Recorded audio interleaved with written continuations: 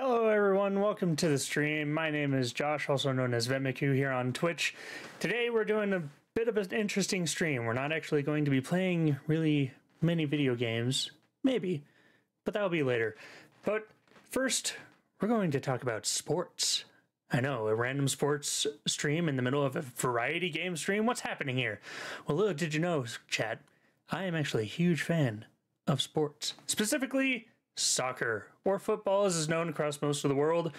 And it has a long and rich history of beautiful games, beautiful gamesmanship, and of course, massive worldwide tournaments.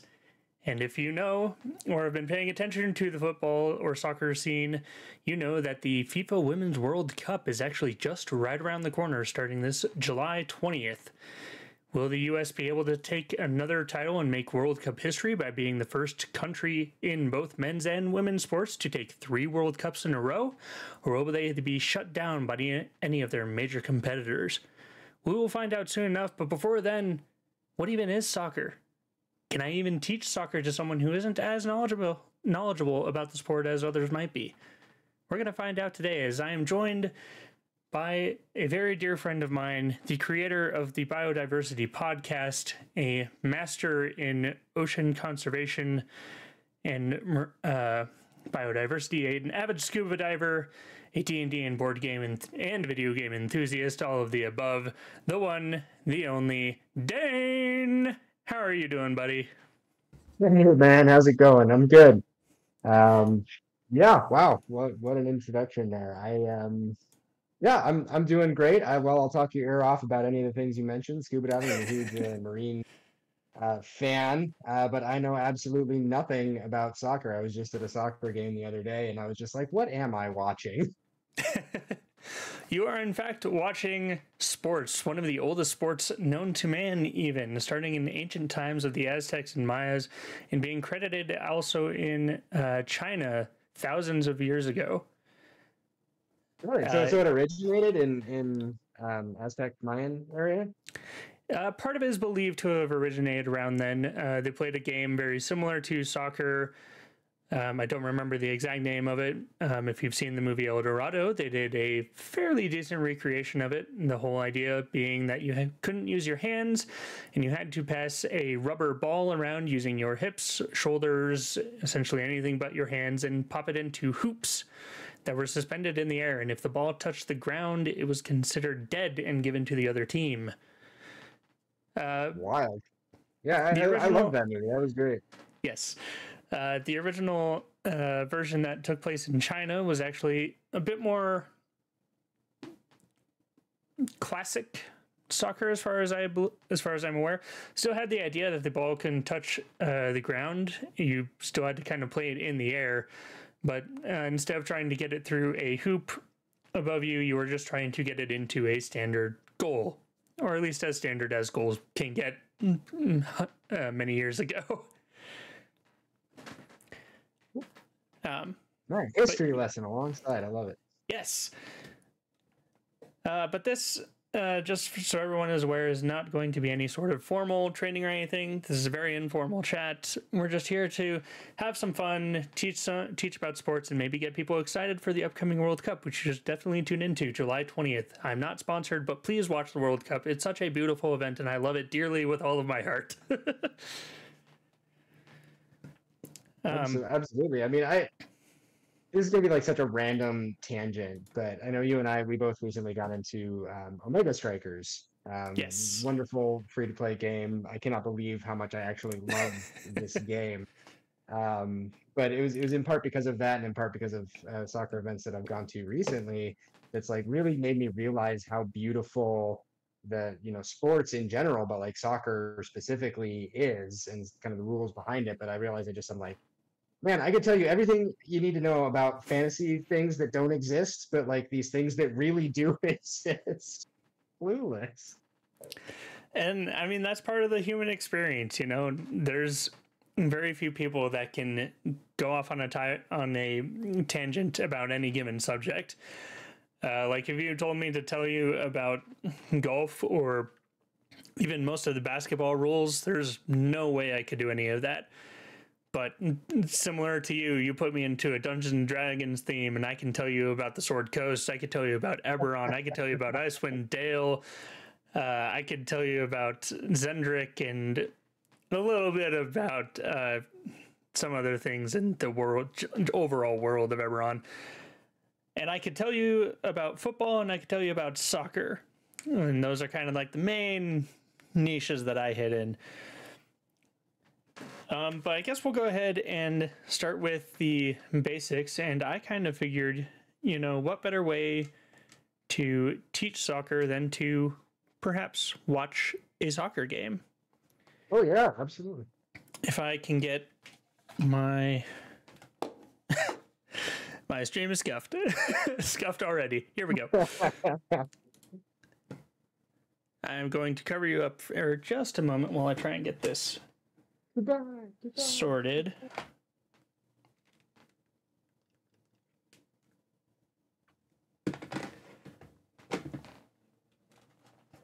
As you can see, totally professional stream going on here. Whoa.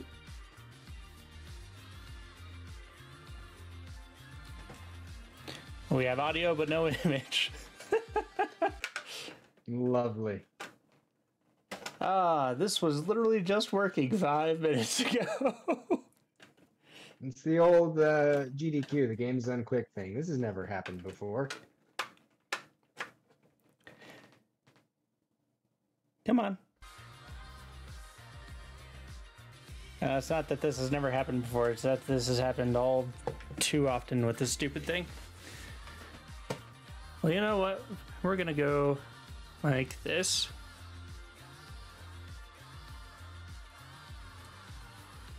So that we can still see your lovely face. And why don't you tell them a bit about your glorious podcast? Uh, so I run a um, marine kind of biodiversity and creature feature based podcast. Um, I've always been very passionate about the ocean. I got certified as a diver when I was 12, and kind of as I started exploring uh, coral reefs and other ecosystems that exist beneath the waves, I was just so captivated by the wildlife that really exists underneath the water. Um, and it's actually funny because because because Josh, you're a part of this story. Um, if you remember back in the early days, I would always find something really cool about like uh, an ocean animal, like an octopus, or these small, tiny little microscopic organisms called foraminifera. Um, that are literally are responsible for coloring some beaches pink, and it's just like these wild things about nature, and I would just get super excited about them and I would end up texting texting you and a bunch of our other friends just these long paragraphs about just these these cool things. Um, and while I appreciate you all all humoring me um, because I did that, um, it made me realize that I just I really like telling telling stories about cool creatures, especially cool ocean creatures. Mhm. Um, so I decided, especially when COVID hit, to take that into a, a personal project and try to make a podcast, um, which I've been doing for the past couple of years, and actually helped inspire me to go back to graduate school um, to study marine conservation and biodiversity. So it's really cool. You should go check it out. I it hasn't posted in a while because I've been in graduate school, but I basically pick an animal every week and talk about the cool science and superpowers that that animal has, and try to tell a story. And it's a good time. So come come and check it out. I mean, I don't think anyone can blame you at all for being in graduate school while taking a break from your podcast. I mean, that's quite quite the undertaking in and of itself. Well, I appreciate that. We do live in the production generation, though. We gotta, you know. If, I, if my resume doesn't say that I produced, you know, podcast on top of going to graduate school, then what good am I? But No, instead you were kidding. working on another project, which I won't spoil for the viewers just yet, but Mm. hopefully in the near future you will see something incredible out of my dear friend here uh, coming down the pipeline. So excited to see it uh, in its continuation if you intend to actually continue working on said unnamed project. Hundred percent. Uh, but with that, I finally got my capture card working again. Huzzah! So we're going to. Uh, this is uh, FIFA 2020, I believe. Um, okay. since I don't think I can stream any actual games, I'm instead going to stream a simulated game uh, between my personal favorite team, Arsenal, and the team that just barely beat us in the last season of the Premier League, Manchester City. You dirty, uh, you know you played well. I I respect your team, but how dare you? um, so we're just gonna have this uh, going in the background while we kind of discuss here, so that people can. What? What is that? no, just play the match. Welcome to you all to the Emirates Stadium. Martin Tyler here, along with. All right, we're gonna lower our game sound here.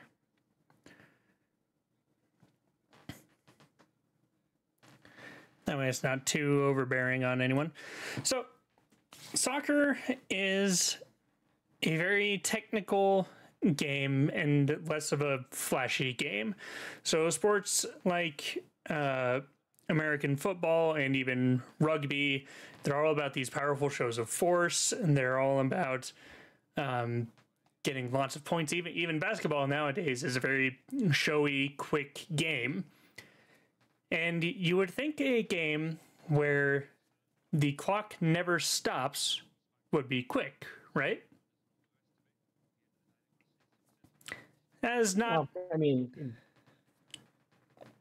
That's not exactly the case in soccer because while the clock never stops for anything or any reason, the game is a lot more about the technical aspect.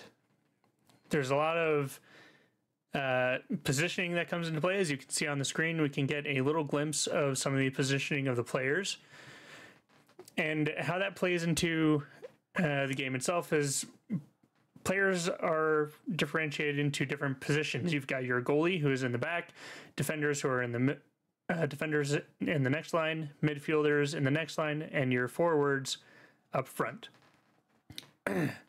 and different, uh, essentially, levels of skill are required for each position. Uh, generally, on a team, you have a uh, striker who they are your main scoring player. They're the ones that have the best ability to score on your team generally, and usually want them up in a forward position so that they have those opportunities to make goals. and Assisting, there's, there's only one striker. There can be multiple strikers, um, but they are your main scorekeepers. Sometimes it's one, Yeah. sometimes it's two. Um, you can have up to, or you will generally see up to about four players in that kind of forward position. Um, two of them will usually be set as wings on either side of the field so that they can cross the ball uh, to the strikers to kind of try and juke out the goalie a little bit. Um, but anyone anyone in soccer can score. Um, there's nothing saying that the goalie can't run to the other end of the field and shoot the ball in to score. Not always the best idea, but it is something that can happen. What? This Ye- isn't Omega Strikers and you're playing Asher? Come on. This is totally Omega Strikers, and I'm playing Asher. Uh, behind your forwards, eh, you have your midfielders. Their job is to assist both the forwards and the defenders, depending on where the ball is on the pitch or the field. So they need to have a lot of endurance to be able to run back and forth quickly. They need to be able to make quick bursts of speeds and be able to intercept the ball and uh, think quickly. And uh, how dare you, Manchester City? We'll get into how scoring works in a moment, but you can see that, of course, my team just got scored on. Um, but yeah, your midfielders have to be able to move around the pitch really quickly and essentially chase the ball down to get either possession for your team or to give your forwards the opportunity to make those plays to make goals against the enemy team. and then behind them, closer to the goal, you have your. Oh, sorry. Go ahead. Oh, just a lot of positioning. It sounds like in, Yes. in the midfield. Yep. Yeah, uh, you definitely need players with a lot of high endurance uh, capabilities to be in the midfield. Well, because Wow. because a, a soccer field is not small. Like It is not. When It I went, went to a game recently, I was really struck by that. I was just like, man, that is a big field. There's a lot of running. There is a lot of running that occurs in a general soccer field. Um, there are, in fact, I believe I have some stats here on the field size. Uh, ba, ba, ba.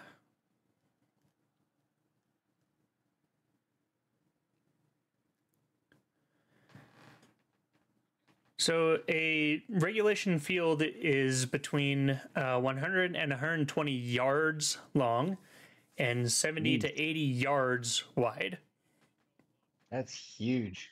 They are. It is a massive field, um, and the entire field is used for the entire match. As you can kind of see in the game, they've already been swapping sides uh, from the far side to the close side. Obviously, they've been running to either end. It takes a lot to move around these fields, get yourselves positioned correctly, and uh, just be able to maneuver the ball around the field to be able to outmaneuver your opponents and get into the positioning you need to be able to take your opportunities to score. Absolutely. Wild. So the second to last position is are the defenders. They are the second to last line of defense between the opposing team and your goal. Uh, so you want players who have the ability to move quickly to intercept positions and have a critical thinking mind to be able to know where they need to be positioned at any given time during the game for the best chance of stopping the opposing offense from getting to your goal. You can kind of see here Manchester City and the blue here in this game. Their defense is kind of is essentially doing kind of a one-on-one positioning against Arsenal's offense. You'll see a lot of uh, players on the blue team guarding players on the red team and following them about the field, and that's so that Yeah, you yeah. you're trying to not leave anyone unguarded That makes at sense. any given time. Similar thing happens in uh, basketball, Yep. which is like a sport I did sort of used to play, but Yep. In basketball, it's called uh, man-to-man defense. I believe it's called the same here in soccer. I don't exactly know that. Um, but generally, it's you're trying to cover all of your bases, as well as anyone who is not doing a job of covering is standing in the way of the goal to try and block direct shots, but also trying not to get in the way of the goalie, uh, which is the last major position in soccer and probably the most important player in soccer. Um, goalie sits in front of the goal, and they are the last line of defense for your team to not get scored upon. They are the only uh, player in the game who is allowed to use their hands while within a specific area.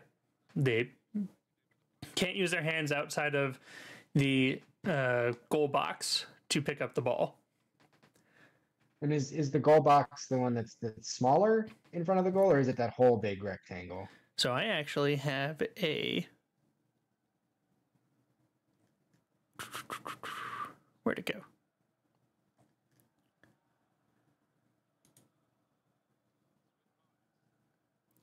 I have a diagram. Oh, I love diagrams. You're very much appealing to my scientist heart. So apologies to those who are watching uh, the actual game in the background. We will get back to it shortly. Trust me, it is still going on. So what you can see here, this large rectangular box is the goal box. So Oh, this okay, is they can the area-. That's that's a wide area. Okay. It is a massive area where the goalie can uh, use their hands to pick up the ball. Um, there are a couple rules with that um, that I haven't fully grasped. There's something about uh, if the goalie like kicks the ball initially, then they're not able to grab it with their hands, and a few strange uh, things like that. It's usually not a big deal. Um, the goalies and the players know their roles well enough that they're not going to make a stupid mistake like that and allow the enemy team a chance to score um, by giving away a penalty. But we'll get to uh, penalties in a little bit. So this is the basic layout of the field. So this distance along here would be your 100 to 120 yards, while the distance along here would be your 70 to 80 yards. Mhm. Um, we have a midfield barrier here that separates the two teams' sides of the field, and that is important for uh, determining penalties and when a team is on the offense versus defense in technicality. Um, Makes we, this. Go, did you have a question? No, no, no. I'm just generally commenting that, that that makes sense. And feel free to interrupt me and just blast away with questions. Otherwise, I will just be talking this entire stream, and nobody wants that. Oh, don't you worry. Don't you worry. uh, in the center of the field here, we have uh, this center field ring, which is a 10 meter ring around the very center of play. And that comes into play during the initial kickoff and uh, kickoffs after a goal. Um, whichever team was originally scored upon will be able to send up to two players into the center to do the initial kickoff. Everyone else has to stand outside of that 10 meter ring. Okay, okay. That makes sense. Um, a lot in- of positioning to me is very arcane, so this is this is nice. Yes. Um, so to kind of get into that positioning again, kind of if you kind of remember how we saw when the teams were initially setting up and they had like the one goalie, the Manchester had the one goalie, the four defensemen, uh, two midfielders, and three forwards, I believe it was. No, we're Mhm, missing one. mhm. Four defensemen, three midfielders, and four forwards. Yeah, that would three forwards. It's a three three four combo. So position, uh, not positions. Um, there's a word for this that I'm missing. It's on the tip of my tongue. Ah, Come on, Hang on. teach. I have I have a cheat sheet. Where's my cheat sheet? Formation. That's the one. So you have 11 players. Each team can have up to 11 players on the field at any given time. Um, if you have any more than that on the field, uh, you can get an automatic penalty. You can have less than that uh, based off of penalties. We'll get into that in a little bit. Mhm. So you mm, teams will try to set up a fo- uh, formation depending on what they're trying to do at any given point in the game. So if you want to be attacking, you'll have like a uh, four-four-two formation where you have um, four forwards, four midfielders, and two defenders. If you want to be a little bit more defensive, you uh, could do like a three-two-five formation where you have five defenders, two midfielders, and three forwards it's kind of this mix of how you want to play the game is how you're going to set up your players in a formation to either attack or defend the ball. Interesting. that makes so, sense. So who who it does? Who makes those calls? I mean, is there is it like the coach on the side that's that's helping be like, okay, we're against a team that seems to be hyper offensive. Let's shift into a more defensive sort of thing. Is I mean, yeah, I guess just like who who makes those calls and how often does I guess the formation change? I feel like it's kind of a stupid question.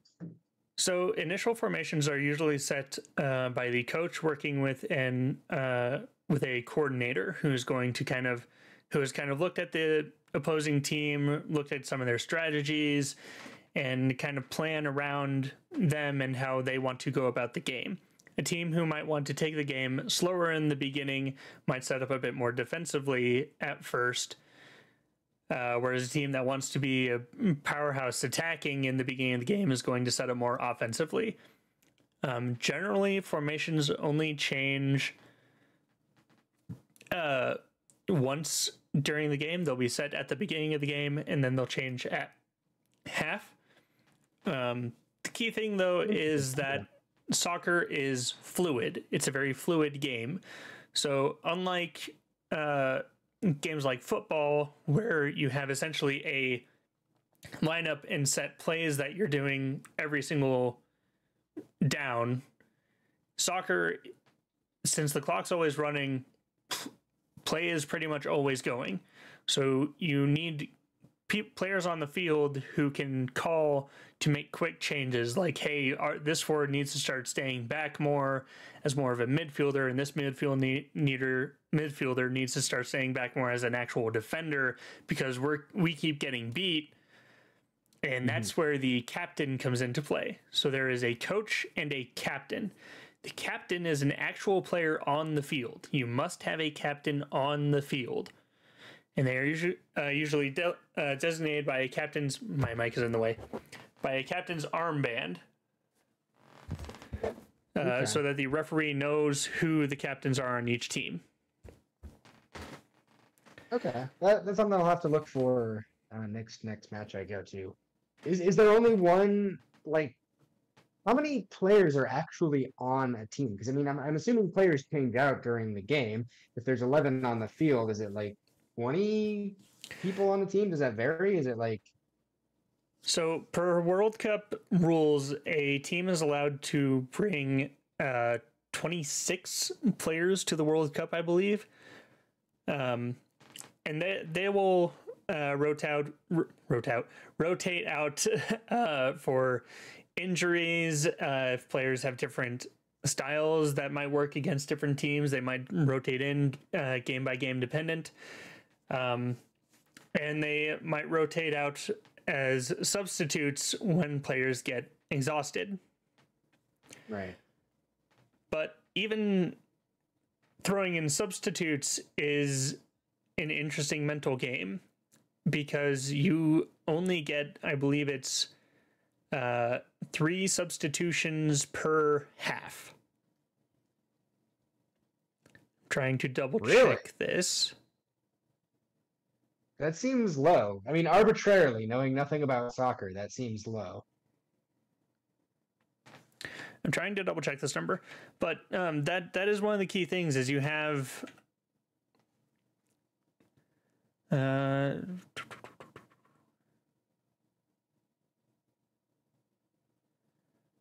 so the maximum number of substitutions for competition play is five.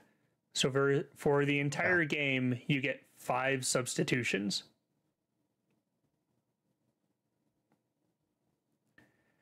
and so that that becomes very important and that's why you have especially in your midfielder your midfielders who are constantly running back and forth and trying to cover both sides of the game you definitely need to have players with a lot of endurance uh, capabilities so that they can actually make those plays constantly be out on the field because if one of your players gets injured that's one of your substitutions gone Yeah, yeah.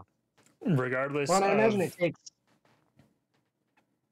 Yeah. I imagine it takes you know time too, and you said that the clock doesn't stop, which is is something that I I recently learned of having going having gone to a game recently. Um. So I imagine like swapping out also takes time? Question mark. Yep. So the clock stopping is a very fundamental part of soccer. There's actually a lot of team strategy that goes into the clock not stopping. And that's where we get into start getting into uh, penalties, out of bounds, and substitutions a little bit more in depth. Um, we'll swap back to the game here. Which So I just just for clarity, I believe that um, the length is ninety minutes, right? That's the, the length of a soccer game.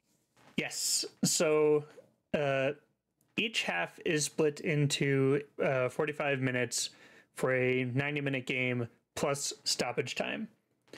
So Mhm. anytime there is a stoppage of play, the referee, um, which I, I didn't even get into the referees, so I'll touch on those real quick. There are uh, there is one referee in a game of soccer and two assistant referees for a total of three people watching over the game. Um, now, with technological standards, we technically have a fourth referee who is watching over the video of the game, but they only give their opinions if called upon during the game. And even in, even in those points, the main referee will usually go off the field to overlook the video footage and make a call there. Mm. Um, so there is one person who is actually able to make calls and essentially determine both the pace of the game and the length of the game. Um, so you have one referee who runs about the middle of the field and two assistant referees, one on each side of the field. And you no, can so kind of see you can kind of see one of them in the top left corner there in the yellow jersey, now hidden behind the points total. Mm-hmm.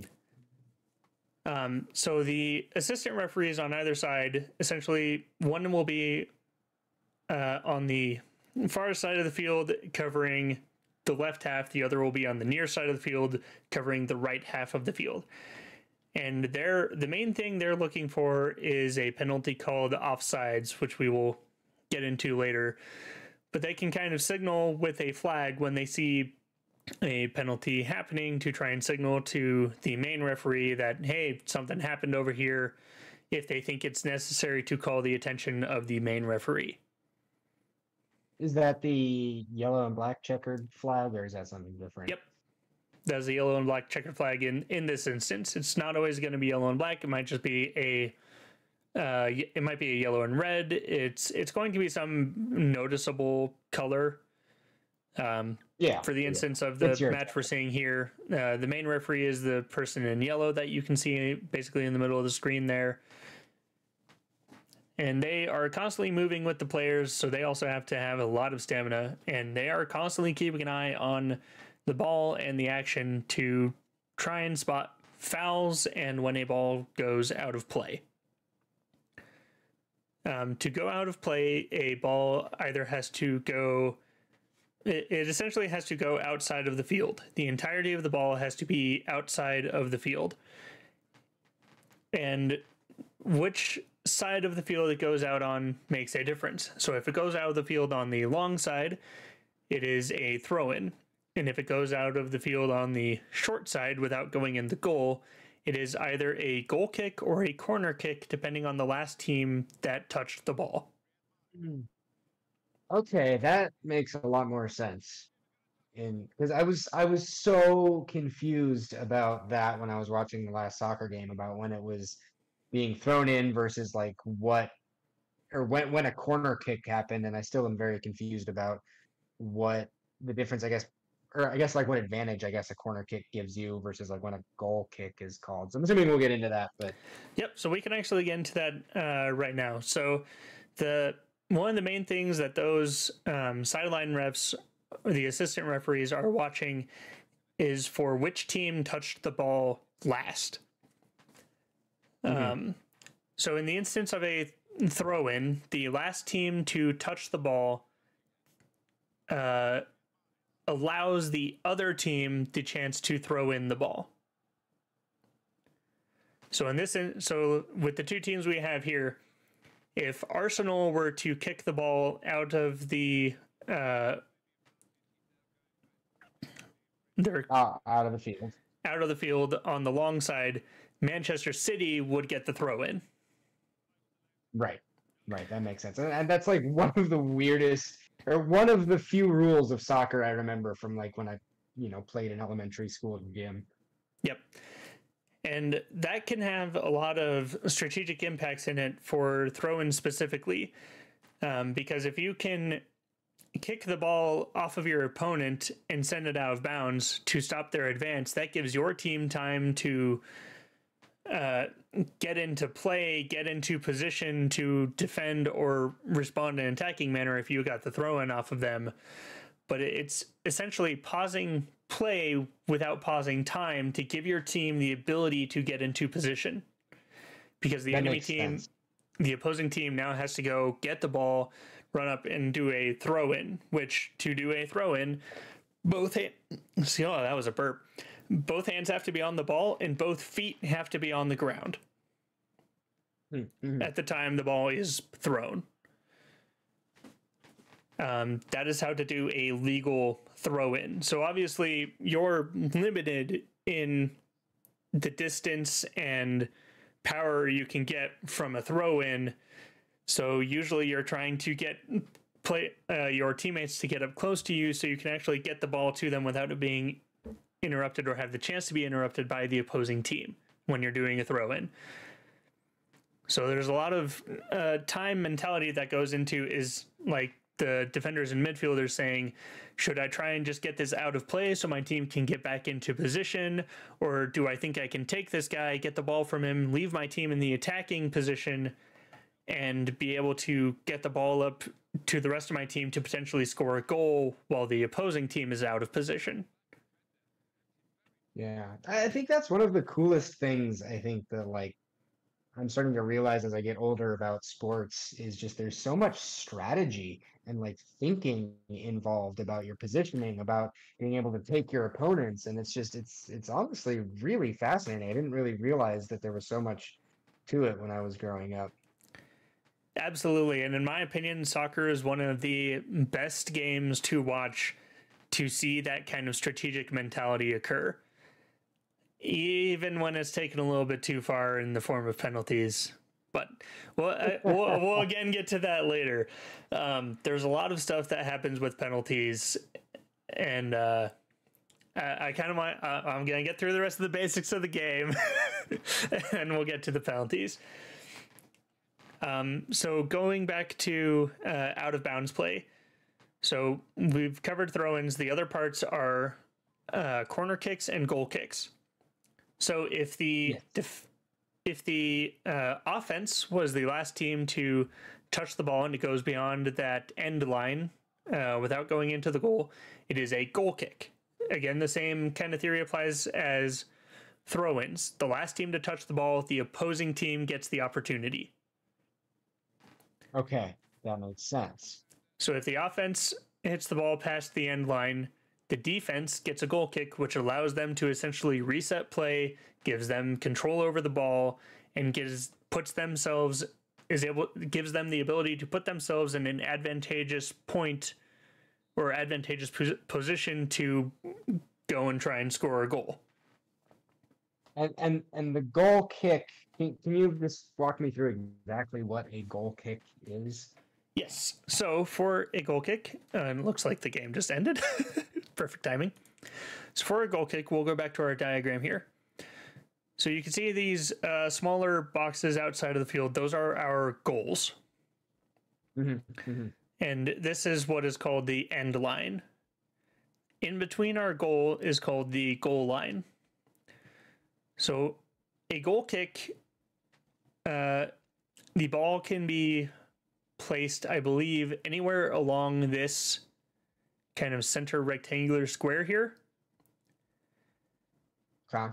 And usually the goalie can take the kick, but I believe defenders can as well. They'll essentially get to place the ball somewhere along this line, back up, and just wail on it. Get it to the other side of the field, and we're trying to anyway. You can try to get to the other side of the field. You can pass it to a short defender who's uh, able to take it and then make a play up the field. Um, the whole idea is you're essentially getting the chance to get the ball into whatever position is favorable for your team. Um, I don't know the uh, exact ruling on this, but the opposing team, I believe, uh, cannot be. It's either can't be within the goal box or on the defensive half of the field. I don't exactly remember. I believe it's can't be within the goal box uh, during a goal kick. Um, but more often than not, even with that, you'll see the in professional play, you'll see the uh, opposing team from a goal kick back up so that they are in a defensive position just in case that uh, goal kick goes way over across the midway of the field. the defending team, the now defending team, still has a chance to recover the ball and make a play with it, rather than having two people way out of position over here. Ah, okay. So so then the opposite of that, well, I guess not opposite, but you know, reverse of that being the corner kick. Yep. Um, which would be if the defenders, I guess, kick it out of bounds, then then the attackers would line up at those corners there and, and do the corner kick. Yep. So if a defender kicks it out of their kicks it past their own end line, uh, then the offense team gets to make a corner kick where they will take the ball and they can place it anywhere in this uh, anywhere within this arch here, which is a one meter arch, one meter radius arch in the corner.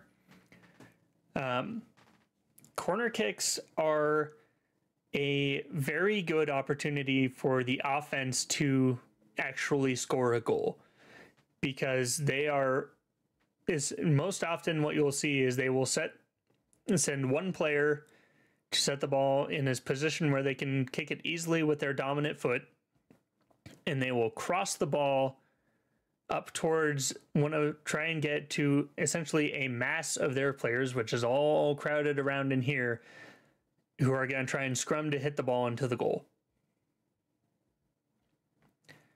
Okay. Um, okay. Yeah, I, I do recall seeing a lot of that happening. in Yep. The game I went to. So it's it's corner kicks are very stressful for the defense. They're very stressful for the offense as well. But it's the it's some of the best opportunity the offense is going to get to actually get a goal. Um, aside from So- a so if you're a penalty defender, kick, you really want to You- try to avoid that. you really want to try to avoid that. Um, which uh, back when I used to play um, defender, one of the things we would uh, try to do is when the opposing team was dribbling near us, kind of on the end zone, we would try to kick the ball off of their shin so it ricocheted off of the offense and out of bounds, giving us a goal kick Mm, because it touched the offense last. That's wild. That is Yep. wild. Um, you don't see that as much in professional play, um, probably because it's a bit of a risky move if it goes wrong.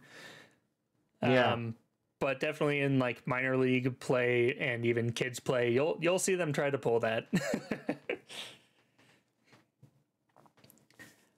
um, Hmm. the main thing, technically correct. The best kind of correct. yeah, the main thing with corners is that uh, your offense can be anywhere on the field for a corner kick. So you can have people standing literally on the goal line, Mhm. ready to just headbutt that sucker in. Uh, so it's it's becomes very stressful, especially for uh, the goalie, because they, they can use their hands, which usually means they're going to be going up to try and block the ball with a fist or an open palm, just something to get it out of their goal zone as quickly as possible.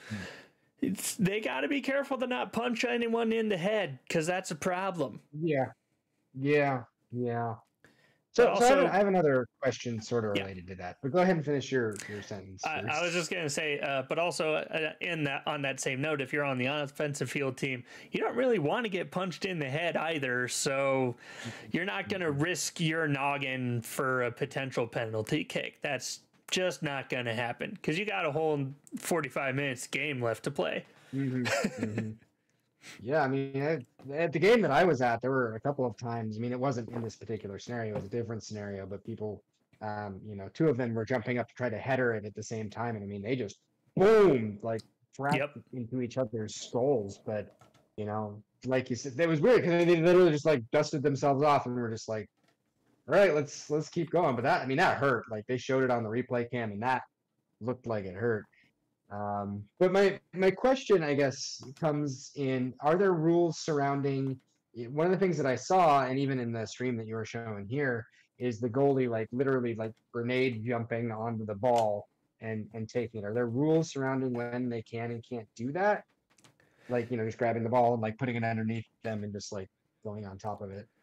So that's they as long as they are within that uh, goalkeeper area, the large box around the goal, they can use their hands to grab the ball.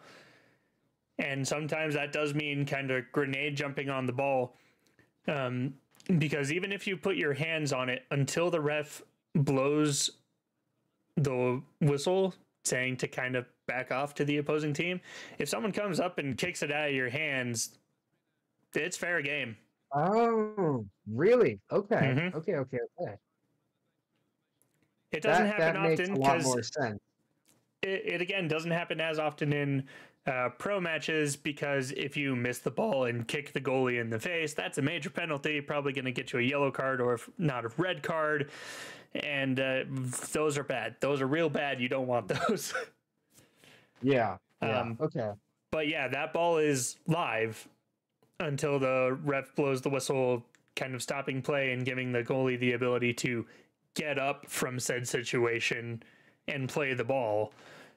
Um, Well, that, that makes a lot of sense because one of the things that happened in the game that I was watching was that they would jump on it and then the goalie would just kind of sit there on top of the ball for what to me seemed like an exorbitantly long period of time. But now that makes Yep. sense if she was waiting for for the whistle to blow. Well, and so they're actually doing two things with that. One, they're protecting the ball and waiting for the whistle to blow. And two, they're burning time. Yeah, yeah, yeah, yeah. So anything that your especially when you're in the lead, anything that your team can do to waste time without without it being from penalties or uh, out of bounds play is good because you are giving the you are forcing the opponent to have less time to make a play against you. I feel like that's almost opposite thinking from a lot of other sports. It is. I, I could be wrong. It's it's very interesting. It's it's very much opposite thinking, especially from a sport like um, basketball or uh, football, where as soon as so basketball is the big one. As soon as your team has the ball, you have, I believe, it's a thirty second shot clock to be able to go and make a shot to try and get a basket. That's not the case in Yeah. football. There's no shot clock. There's no timer on your team except that 45 minute half. Yeah, yeah, yeah. So if you are able to take an early lead and then stall for the entire match, that's a win. Yeah, no kidding. And that's also why you'll never really see high scoring soccer games. A, scoring is really hard. There's a lot of mentality that has to go into scoring, there's a lot of positioning that has to go into scoring. Uh, but B, you don't really need that many points.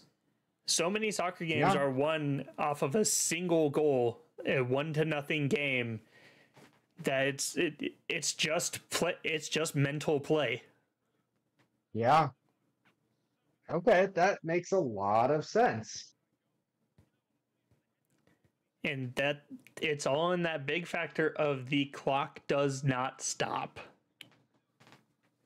it makes for such interesting play and such interesting strategy that is what i think really endears me to soccer there's so much thinking I- that goes into the game beyond the surface and it's it is unfortunate to me that most people just kind of see soccer, uh, especially here in the U.S. I know this isn't the case around most of the world. Is one of, I believe it is the actually the most popular sport in the world. Um, but Yeah, here in the true, U.S., yeah. it has not gained a lot of traction because it is seen as a boring game because it's not flashy. There's it's not goal after goal after goal after goal after goal or points after points after points after Right. points. There's no watching big numbers get bigger like you have in football or in basketball, even in baseball where you've got these high flying moments of a ball going straight out of the field and getting a home run for your team and it's this big explosion of a moment that's happening Just every single loaded. inning yeah. ending in a point to ending in a game of like 10 to 7 Yeah, in yeah. soccer if you get that's why you'll see when a team gets a goal in soccer, the entirety of the team, the entirety of the fans erupts because Mhm, it's so less common than in any other yeah, sport. I mean, it, and, it's wild. I mean, I think I'm I'm certainly subject to a lot of those same thought processes that you just talked about, right? Because I mean, on the surface, without this context, it's it's very different. Like, yeah, the numbers are not getting bigger, and like, also one of the weird things that struck me as when I tried to play soccer, like back in in elementary school, is like the goals are pretty big, and like the goalie Mhm. is not that big. So I always thought it was like super easy to score goals.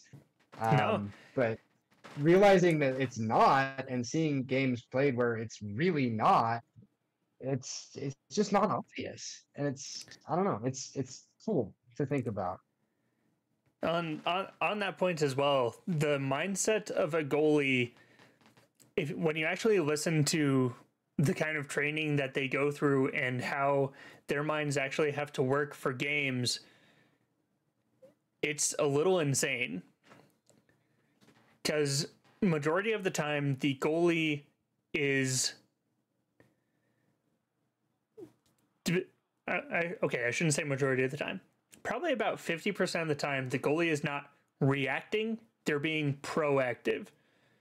Mm. Because the goal is so big and because they have such a small frame comparatively, and because they're the only player that can actually use their hands, they you will a lot of times see this when it actually comes down to penalty shootouts. If the goalie sees a player coming at them with the ball, they will mentally pick a direction try and position themselves to make that direction seem more appealing to the player so that they will kick in that direction and dive that direction before the player even kicks the ball because that's their Yeah. only chance at actually blocking the goal. God, that's wild. That is like levels of mental play that I've only seen in competitive Pokemon. It it is a mental chess match between the goalie and the defender cranked up to 100 when it's a penalty kick. Dang. Okay. Wild. That's so cool. Yeah. It it's such a cool and beautiful game. There's so much strategy that goes into it that is honestly like even watching this match here, I'm sure a lot of people that are watching this are just kind of seeing and going, "Wow, run around, kick stuff. That's not that hard." And it's it, sure it's a physically exhausting task, but there's so much mentality going behind it. You're checking all of your other players anytime you have the ball. Who can I pass it to? Who's not being covered? Is there anyone going to be able to intercept my pass if I try to cross it over to this person? Where is the rest of my team in case it gets intercepted when I cross it? There's and if you don't have the ball, you're watching these players being like, "How can I get open? Where can I get to so that they know they can get it to me so I can get to someone else to score or where can I go so that they can set up the cross so I can score? There's so much mentality. There's so much coordination that has to happen most of the time without words. Uh, like you'll hear a lot of shouting if there wasn't a crowd of people saying like here open or pass or go or stuff like that. But you also don't want to drown out the captain because the captain's trying to make those important calls of hey switch back to defense. Hey come up to forward Yeah. there's a lot of intuition there's a lot of thinking there's a lot of situational awareness going on in it the, while the whole time you're kicking a ball with your foot that you're not even able to touch with your hands the ball is constantly in motion throughout the game you have no control over that sucker except what you can do with your foot Yeah, no kidding. Well, on all these decisions that you're talking about, like, and, and like all this situational awareness and everything, I mean, to me, that's happening in a split second. Like, the, the Mhm. mental processing, I mean, I'm going to keep relating this back to Omega Strikers, and I'm sorry, but you can't stop me. hey, hey you know what But, like- relate away i love that game It's so good. Um, but like that is only a three v three game, Mhm. right? And I have trouble mentally keeping track of the positions of six people. The two other people on my team, my person, and the three on the other team. It's like that's hard to make decisions on a relatively small map with relatively small numbers of players, and and to see it amplified to this this degree, uh, giving me a lot of new respect. I tell you Mhm. that. And like you said, like you said, that's just like watching six players, even not including the goalies in a soccer match, especially the captains. You're trying to keep track of twenty people. Wild. it's insane. the, the mental capacity is, is is beyond me. I mean, I may be smart in science, but dear Lord, would I be dumb on a soccer field? It's it's literally insane, and there is a point on there is a point in uh, practice where that doing those drills and knowing uh, positions and knowing different plays that your team can pull be, has to become second nature. Yeah, because uh, because of how much that mental how much of your mental fortitude trying to keep track of all of that takes there has to be a point where you have to trust that the rest of your team knows where to be and what to do at any given time so being in practice knowing like okay if uh, this player has the ball and they're over on the right side of the field we've drilled this so many times i gotta be towards the center of the field so that they can cross to me and i can score that that just becomes your instinct you see they have the ball you go to center instinctually so yeah. that you can try to make that play it's man, where absolutely a lot wild of practice is coming. Yeah, Yep. It's absolutely wild. And in it, and depending on what team you're playing, you might not know what the enemy team is doing at any given time. So you don't know if they're setting up for something unless you've watched them repeatedly. yeah. Oh, they just okay. I got- I got to stop here. Uh oh, I Okay. missed it. okay. So, um, but part of that also mental play and part of that positioning, uh, we're going to start getting into penalties. And Yes, we're I'm very curious.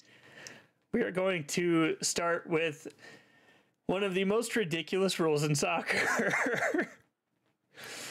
that I totally understand why it exists, and I agree that something like this needs to exist. But it's one of those instances where a rule was instated and it backfired on what it was supposed to do, in my opinion.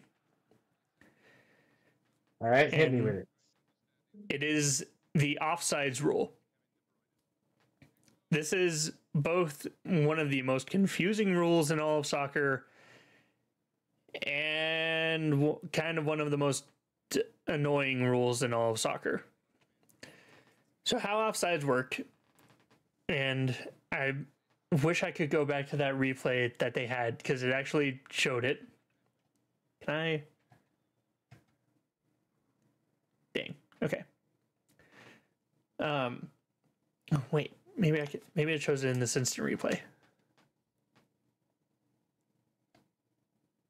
Way back game. Way back. So essentially, offsides is an anti cherry picking rule. Do you know what cherry picking is? In the context of a political arena about facts. Uh, not so much that.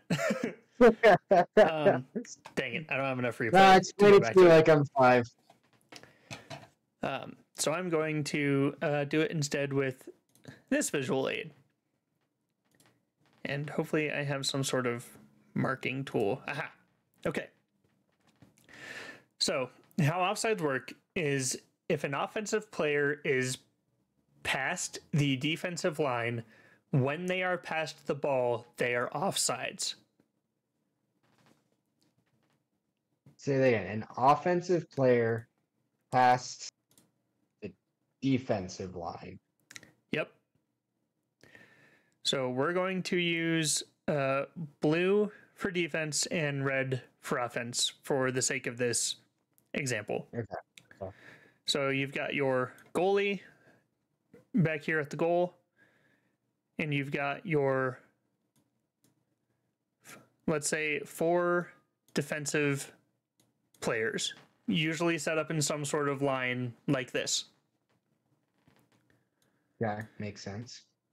And the offensive team back here has the ball.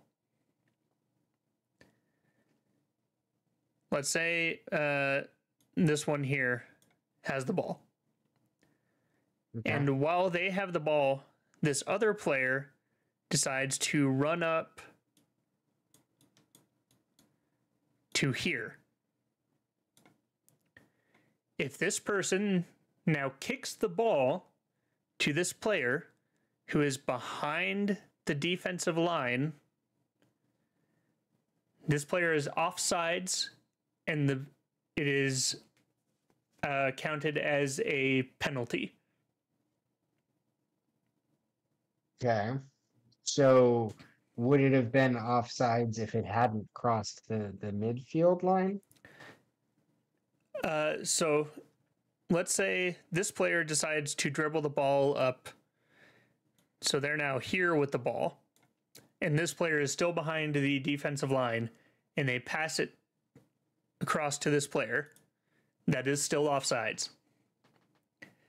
The key, the only thing that matters in offsides as far as ruling it is the position of this farthest back defensive player. Oh, okay. So it's like a moving line target. Yep. Wild. Okay, so there's like no benefit to trying to get behind the enemy defensive team and try to get the ball in an effort to score, Nope. because then that's just offsides. However, the other key point is that the ball was passed from in front of that defensive line to behind that defensive line to a player who was behind that line when the ball was passed. So, So if they were in front of the line, the ball was passed, they run behind the line to receive it, that's fine. that's a fair play. God, what? That is wild. And if this player dribbles the ball past the defensive line and then passes to this player, that's a fair play. Okay. So so what was This this, is meant why- to prevent again? The, the the cherry picking. What So what? So what, so what cherry, America. Yes. So what cherry picking is is it, it, it is almost exactly this situation. It is sending a player to sit behind the enemy lines. I I'm making gestures with my hand that you can't even see. It's sending it one player to sit behind enemy lines so that the rest of the team can pass the ball over the enemy lines to that player Mm, to give them a 1v1 boy. against the goalie. gotcha. That's cherry picking. Gotcha. Okay. So offsides is designed to negate that essentially by by essentially forcing the offense to not be able to have one player that just sits behind the en- the enemy defense Okay. because that player Arcane. is Effective. yeah so that, that player is not an eligible pass recipient while they are behind the enemy defense as long as the ball is in front of the enemy defense Okay. Okay. as soon as someone travels with the ball past the enemy defense, that player is now in play and is a legal pass target. Okay. Okay. Okay. That has got to be wild for the ref to keep keep track of. It is, and that is why the assistant refs that run along the side paths here are so important to be able to call offsides. Because generally, they will try to keep pace with wherever that last defender is so that they know where Mm. that line is so that they can make that judgment call. Because it, it happens in an instant No And- kidding. it's gotten to the point in it's gotten to the point now where we have the technology that we can essentially like almost pixel perfect set a like one centimeter ish line down the field using our camera technology to know where that defensive player is and how far over that line that offensive player is at the time the ball was kicked. Jeez. And if any part of that offensive player, hands or feet, I should say, or body, I guess, is past that Mhm. line, that's offsides. Okay. Okay. Do you okay, see how it's sure. the most confusing rule in the game? Did you see how long it took me to understand what you were talking about? Yeah. Kidding. now, here's why it's the most bullshit rule in the game. and I'm gonna get fired right, for this, but bring it on. Uh, what it does, so it's intended to stop cherry picking, but what it does is it then encourages the defense to play out of position. Mm. They're trying to stay as far far back, I guess. It encourages them to play forward Oh, right, right, right. Yeah, yeah, yeah. That makes because sense. if they sense, can sorry. trap someone off sides, it doesn't matter if they get the ball and score. It doesn't count. Hmm. as long as they remain off as long as the shot remains as an offside shot. You know, I wonder. There were a couple times. I mean, granted, I was up in the stands and it was kind of hard to see. I was a little far away from the jumbotron, so it was kind of hard to to really see. But I could have sworn in the game that I went to last week, there were a couple of goals that got shot, and I didn't see the score go up, and I was very confused. So I just kind of chalked it up to I didn't actually see it correctly, which could have still been the case. But It was probably but- an but what offside shot. damn, okay, 'Cause it- it- interesting. It happens a lot, and there's actually a big problem right now, uh, at least in the Premier League. I don't know about many of the other leagues, but there's a big problem where um, assistant refs will wait to call offsides. So even if a shot is technically offsides and the players go and score a goal and start celebrating, sometimes the assistant refs will wait to actually raise their flag to call it offsides. Hmm. And that's become a big problem because not only does that waste game time for the teams, uh, that also to quite literally everyone there puts this distrust in the referees, Mm, mhm, mhm.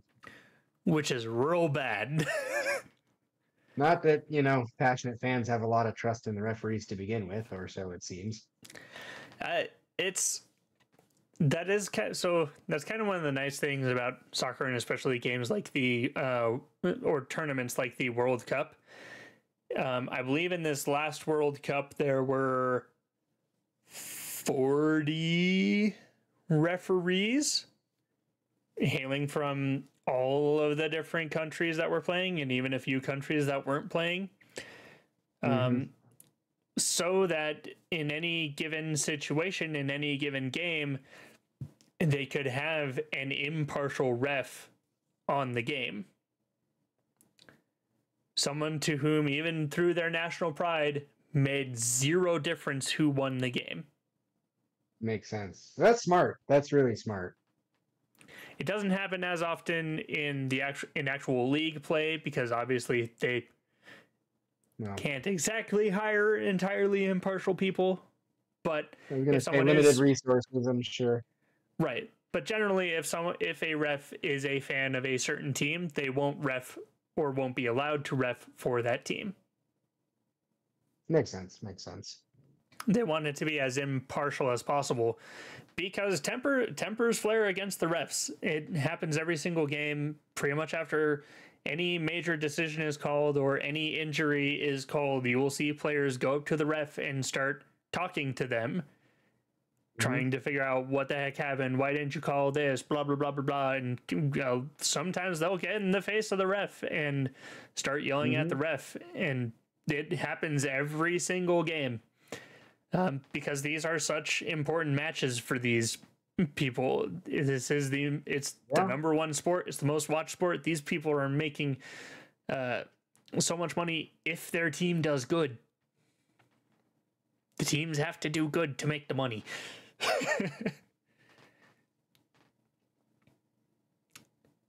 uh, still there? Did I lose you? Oh, hang on, chat. We're having issues. Oh no.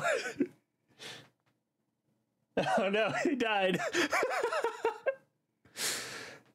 uh, we did it, chat.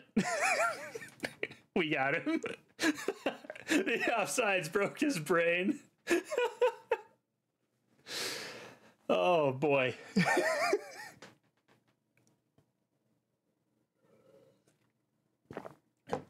well, while we wait, let's uh let's get back to that FIFA match, shall we? while we wait for him to return.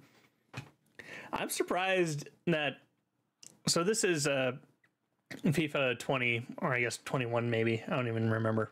Which one is it? 20.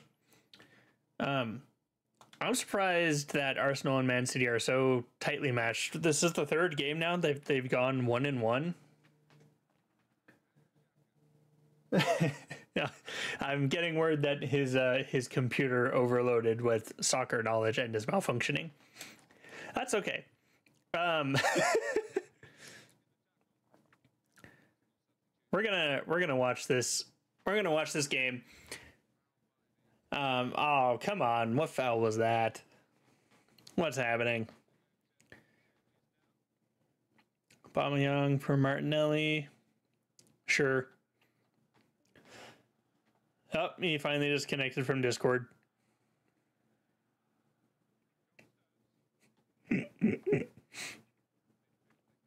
It's all right, chat. It's all right. We'll get him back. We'll get him back for the sports. He can't escape me. he can't escape my sports.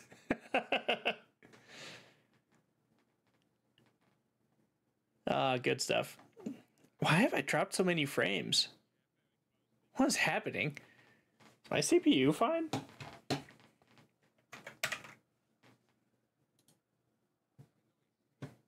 You, uh, doing okay over here? Yeah? Looks fine. GPU's, uh, it's, a, it's a little hot. GPU's a little hot, but not too bad. Yeah, we're doing all right. I don't know why I'm dropping so many frames. I wonder if my Wi-Fi is having issue and that's why I'm dropping frames.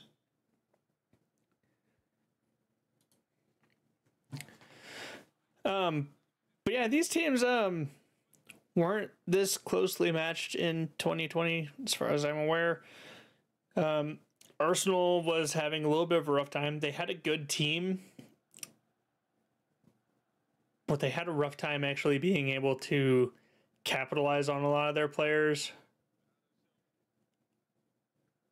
Like they weren't they weren't a bad team by any means, but I definitely didn't expect them to do this well against Man City back in 2020. Granted, this is all AI generated based off of numbers, stats, and an algorithm inside of a video game. So, you know, it's only as accurate as a computer can be in predicting stuff. And uh, for anyone who's still watching while we wait to get Dane back on the line, um, I know he hasn't been able to talk much about uh, biodiversity and all of the beautiful things he is working on and all of the knowledge he has about being a marine biologist. But if you're interested, if you're interested in that stuff, go check out his podcast. Bio-Dive-rsity, you can see it in the bottom right uh, of your screen here. It's a wonderful podcast. He makes a lot of great jokes during it. It's a very it's very easy to get into. It's a very solid podcast. I def- definitely recommend it. Like you said, each episode he picks a new interesting fish to look at and analyze and tell you all the fun facts about. So go check out Bio-Dive-rsity. And if you want to hear more ocean facts, we are working on being able to do an a uh, collaborative stream in the not too distant future where I will be playing a video game while he overlooks the game and maybe analyzes some of the fishy situations in the game. If that sounds interesting to you, be sure to leave a follow and tag along on my adventures. I stream twice every week on Tuesdays and Thursdays. I generally do a variety stream where I just play whatever game suits me on the given day. I like to play a lot with my friends. And oh, are we back? Uh, sort of. Hopefully, you can hear me okay. I don't know what happened with my computer, but it completely blue screened, um, and it is working on repairing itself, quote unquote. So I'm on my iPad now. Hi. Hi. Uh, sounds like a fun situation. I yeah, I don't know what was up with that. I just got overloaded with so much soccer knowledge. I'm full of it. just just couldn't handle it. I think it's because I was trying to run um, an external monitor too. Um, Mm. My guess is I am now looking at it, and I didn't plug my external monitor into the um, outlet, so it was drawing power from my laptop, and I maybe just overloaded it. yeah. Um, trying Could to be. stream and talk and all of that, um, all at the same time. So you know, but in, in, I'll I'll be back on the computer as soon as that boots up. But if you want to keep talking, I'm here. What's up, buddy? What's going off off the rails tonight? we're going off. We're going off the cord. We're on battery power now. Let's go. Oh baby. uh, Um, well, okay, so what were you- yeah. So go ahead. What were you gonna say? I, I guess uh, I'll just go ahead and ask uh, if you had any more. I don't remember exactly what we were talking about after offsides. Do you have any more questions about offsides? No, um, it makes sense. Um, it's definitely something I'll have to keep keep an eye out and like watch for um, in in the future because that is just a very I don't know, just a, just a hard thing to to keep track of. it's definitely an interesting rule to try and wrap your head around and uh, trust me it gets even crazier when you're actually having to deal with it um, but it, once you know it and even with just like a simple gist of it if you watch a few games i i probably see at least one offsides call in just about every single game it's actually a fairly common call um, because it's it's it's very easy to have occur as an offensive player. I'm sure. I'm very sure. I mean, I would get caught up in the moment and just like be like, "Oh, look at this guy who's open. I'm gonna pass to him. I'm gonna get a score." Like, Yep. Yeah. Um so it's definitely but like it once you kind of know it you can kind of watch games and kind of watch how it actually plays out in a game and I've I've I've I will say um I played soccer from when I was a little kid all the way into middle school. I played it for a long time. And it actually took uh watching some pro games for me to fully grasp the sport. yeah, there's a lot to it. There is a lot to it, and there's there's a lot you can get just from watching it. You know, in all fairness, it's it's a crazy situation. Um, one of the rules that a lot of people uh, kind of miss out on is um, for a goal to actually count as a goal, the entirety of the ball has to go beyond the goal line. Mm, okay. So this line here. So Yep. Yep. Yep. yep. if a ball goes up, it hits the top post, bounces straight down on the goal line, and then gets hit out by the goalie, That ball is Not still a fair play. That's not a goal. Okay, makes sense. Um, so there's a lot of couple. There's a couple of nuanced things with that specifically in soccer. Um, but I remember when you went to your game because we were chatting about it. Because I was honestly surprised you went to a soccer game.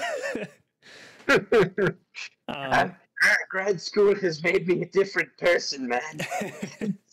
Things are different now. uh, you were messaging me specifically about penalties. Mm-hmm. Mm-hmm. So there are, are a couple there there are a couple different penalties that you can accrue in soccer. And there are different seriousnesses of penalties. Um so you have your minor penalties which oh gosh. Sorry. Um where did my thing go? You have your minor minor penalties, uh, which are things of like what's a good example of a minor penalty here? Um, like uh, like uh, tripping someone might be considered Yeah. a minor penalty, depending on what happens. Um, uh, tackling someone and or doing a slide tackle and hitting the player instead of the ball might be considered a minor penalty. Accidentally stepping on someone's toes might be considered a minor penalty. Okay. Okay. Um, those usually uh, result in the ball being given to the um, of uh, not the offender, the offending player. Nope, the offended The- player. the- Defended, yeah, yeah. So, so whoever the penalty was against, if if if you stepped Yes. on my toes, my team would get the the control. Yes. And so you are given an indirect kick from the spot of the foul, which an indirect kick means that the first touch of the ball cannot go into the goal. The first touch of the ball. Yes. I guess I don't quite understand. Can you? So, um, I guess uh, first touch is a little disconcerting. The player who's taking so uh, es- essentially, what an indirect kick is is the player who's taking. So uh, when a when a penalty occurs, and the team gets the opposing ball, the ball will be set on the on the pitch on the field where the penalty took place, and one person from that team gets to kick the ball to resume play. In an indirect kick or an indirect kick, uh, that player cannot immediately shoot the ball from the penalties position. Okay. Okay. They have to at least pass it to one other player before a shot can be Before taken. make, making a shot on the goal. Okay, Yes. that makes sense. Um, a direct kick is the opposite, where they can just immediately take a shot on the goal. Okay. Uh, these most So- often happen, uh, looking in our diagram here, uh, these most often happen uh, to uh, on the goals quarter of the field.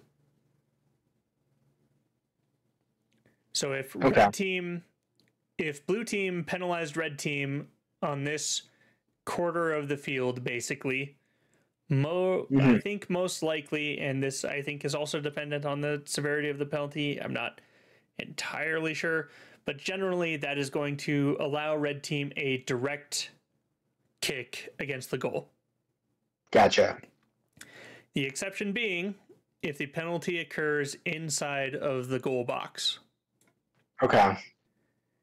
If a penalty incur- occurs inside of the goal box against the offensive team, the offensive team gets to do what is called a penalty kick. Um, for a penalty kick, the offense will get to set the ball on this little white square here hmm hmm and send one player up to kick the ball against only the goalie. One v oneing it. 1v1ing the goalie. Gotcha. Everyone else must stay at least 10 meters away from the ball, Damn. which generally means they have to stay outside of the goalie box and outside of this goalie circle, which, just like the center circle, is positioned to have a 10 foot radius centered on the on the penalty spot. Makes sense. Makes sense. Um, that way, Alright. if the goalie uh, does not catch the ball, and if the ball doesn't go in and instead redirects, no one's immediately there to capitalize on it. Interesting. Okay. Okay. So, so it's a little bit fair for for for both teams. I mean, that's a huge advantage for the offensive team. Yes. Um, but they wanted to get somewhat fair. Okay, that makes sense. Um, it looks like my computer's back up. I'm going to try switching back over because it looks like my iPad is frozen. Yeah, go ahead. end. um, be right. yeah. Scuff streams, what are you going to do?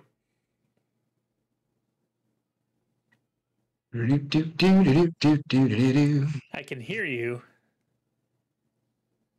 Uh, that can you hear me? I can hear you. Can you hear me? Indeed. You're not quite back on camera yet. It's still like registering my frozen iPad on your stream. That's weird. That's there. There we go. I'm alive. Oh, I'm i know still what happened. Okay, I, I've seen. I've seen the problem. Excellent. We're fine. Everything's fine. Okay, things are good. Sorry, I'm being such a problem child. Ah, that's fine. You're Scuff stream is scuff gracious stream. host. Uh, you know, it's it's all good. We I'm cut it out of the highlight. reel, right? Like, I'm honestly just so happy to be finally talking sports. I resisted for so long. No. As you can tell, I'm very passionate about soccer. I absolutely love the game. Well, it's cool. I mean, even back when we were we were roommates, like I remember with when the World Cup was on, watching soccer with you, but I just I, I still had no idea what was going on, and to be honest, with you, way more interested in Animal Crossing at the time. But weren't we all? Um, Everyone was interested in Animal Crossing at the time. Um, not you know using that as an excuse for not expanding, but um, yeah. So okay, so let's see. So that was so so just just to recap. Um, Yep. Because I'm probably going to get this wrong. So the minor minor-ish penalties could lead to the these like indirect cases. Do I have that right? So minor penalties usually just minor and uh, some major penalties usually just lead to either an indirect kick or a direct kick. Um, that is almost entirely dependent on the ball's position on the field and the team in uh, the team receiving the penalty. Okay. So that's not as severe as a yellow card or a red card. No. So a yellow card is considered a uh, eh, so a yellow card is called a caution, and these are given for these can be given for repeated fouls, uh, for unsportsmanlike behavior, like trying to trick the referee, um, Mm, arguing with the referee, uh, taking an action that will purposefully delay the game, or uh, even um, taking a substitution without alerting the referee. Okay, okay. Um, for any for every substitution, the referee must be alerted that a substitution is being made, and you can only substitute while the ball is considered out of play. Um, so you're not going to have players just running off the field and swapping in in the middle of play like you would in a hockey game. The ball has to be con- considered out of play and or dead so that no action is happening during the time of substitution. Okay. Okay. Um, and then on to the other ones like arguing with the ref. Like I said, a lot of the times with penalties, you'll see players run up and start arguing with the ref. If it gets to a point where the ref is just essentially done trying to explain them why they're wrong, they can give out a yellow card Right. to that player. And that's essentially a sign of back off. I'm Mhm, not mhm. changing my ruling, back off. Interesting. That that doesn't happen nearly as much as the other things like repeated fouls or faking. Mhm. Um, which soccer has been called a, uh, to use a not a great term here, wuss game. Mm. Because it's that mentality of anything you can do to deny the opposing team of time you should do, Mhm. which generally means a lot of players will overreact to. Injuries or contact because they're trying to either force a penalty or force Or a- delay of the game so that the other team doesn't get as much time to do things. Interesting. Okay. But if someone's clearly faking it just to try and do that, that can impose a yellow card. Right. So it's trying to, in that instance, it's trying to keep the game going. The ref's job is to keep the game going, as well as okay. keep it a fair game. Um, so a yellow card is a caution. Mhm. How many yellow So, cards so do you? Go ahead.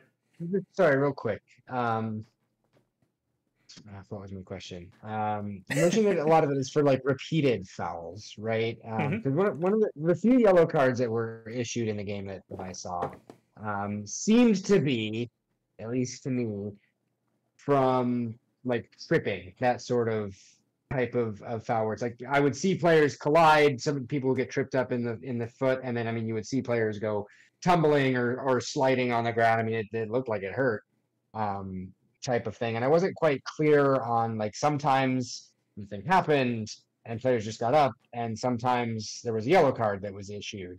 So I was trying to figure out like why, like what the determining factor was. The only thing I could come up with was like, okay, if there's like clear intent behind like trying to trip somebody. So I guess my my question is do refs look for intent like that? Do they see if like they see there's a very clear like, oh, I reached out and tried to trip you, and that's the first time that's like a yellow card, or is it more just repeatedness of the the foul? I feel like that question didn't make any sense. That that actually makes perfect sense um, because this is a common thing that actually refs do kind of have to be aware of. So, as you probably saw during the match, in some of these attempts, what players were trying to do most likely is what's called a slide tackle, where essentially you try to get low to the ground and sliding with like one foot out in front of the other to take the ball essentially out from under your opponent. Okay. Um, it is a legal move as long as two main things take place. Um, you make contact with the ball before making contact with the player, and you cannot slide tackle from behind. Okay. Okay. And so this is slide tackling is a heated issue because it's a safety thing. Um, you've got these people with these powerful legs and spiked shoes Yeah, I was gonna say, sliding towards other players. That if you miss the ball and just slam into someone's ankle, there's a good chance you're gonna at least roll their ankle, if not straight up break it. Yeah, no kidding. And if you're doing it from behind, they can't see you coming. hmm So that's even more dangerous because if you're coming from the front, uh, most of the times you'll see someone sliding in, an opposing player will try to just jump it. They'll try to pop the ball up and jump it so that neither them or the ball gets hit. And it Right. often ends it, it often ends up not working like that, and someone gets tipped and goes tumbling, and the ball gets shot out into the middle of nowhere. Um, So it's- it's a safety thing. Um, and severity is a big part of that. Uh, a yellow card's uh, like just just tripping someone once isn't probably going to net you a, a yellow card, but if you are repeatedly tripping someone, especially the same person, that becomes a safety hazard. You're going to get a yellow card. Mhm, mhm. Okay. So, so the yellow cards, they are a little bit more judicious and um, they're Mhm. careful about issuing them. That makes sense. they're careful about issuing them and they're most refs are very reserved when it comes to yellow cards. Um, you will not see a ref handing out yellow cards willy-nilly in a game. Um, there are games where a lot of yellow cards occur though. Specifically i remember from the men's world cup um, argentina's semi-final game they got like five yellow cards in a single game amongst various players. Yeah, not good. There were a lot of penalties flying that game. Um, I'm honestly surprised that uh, what we're going to talk about next didn't happen at least once.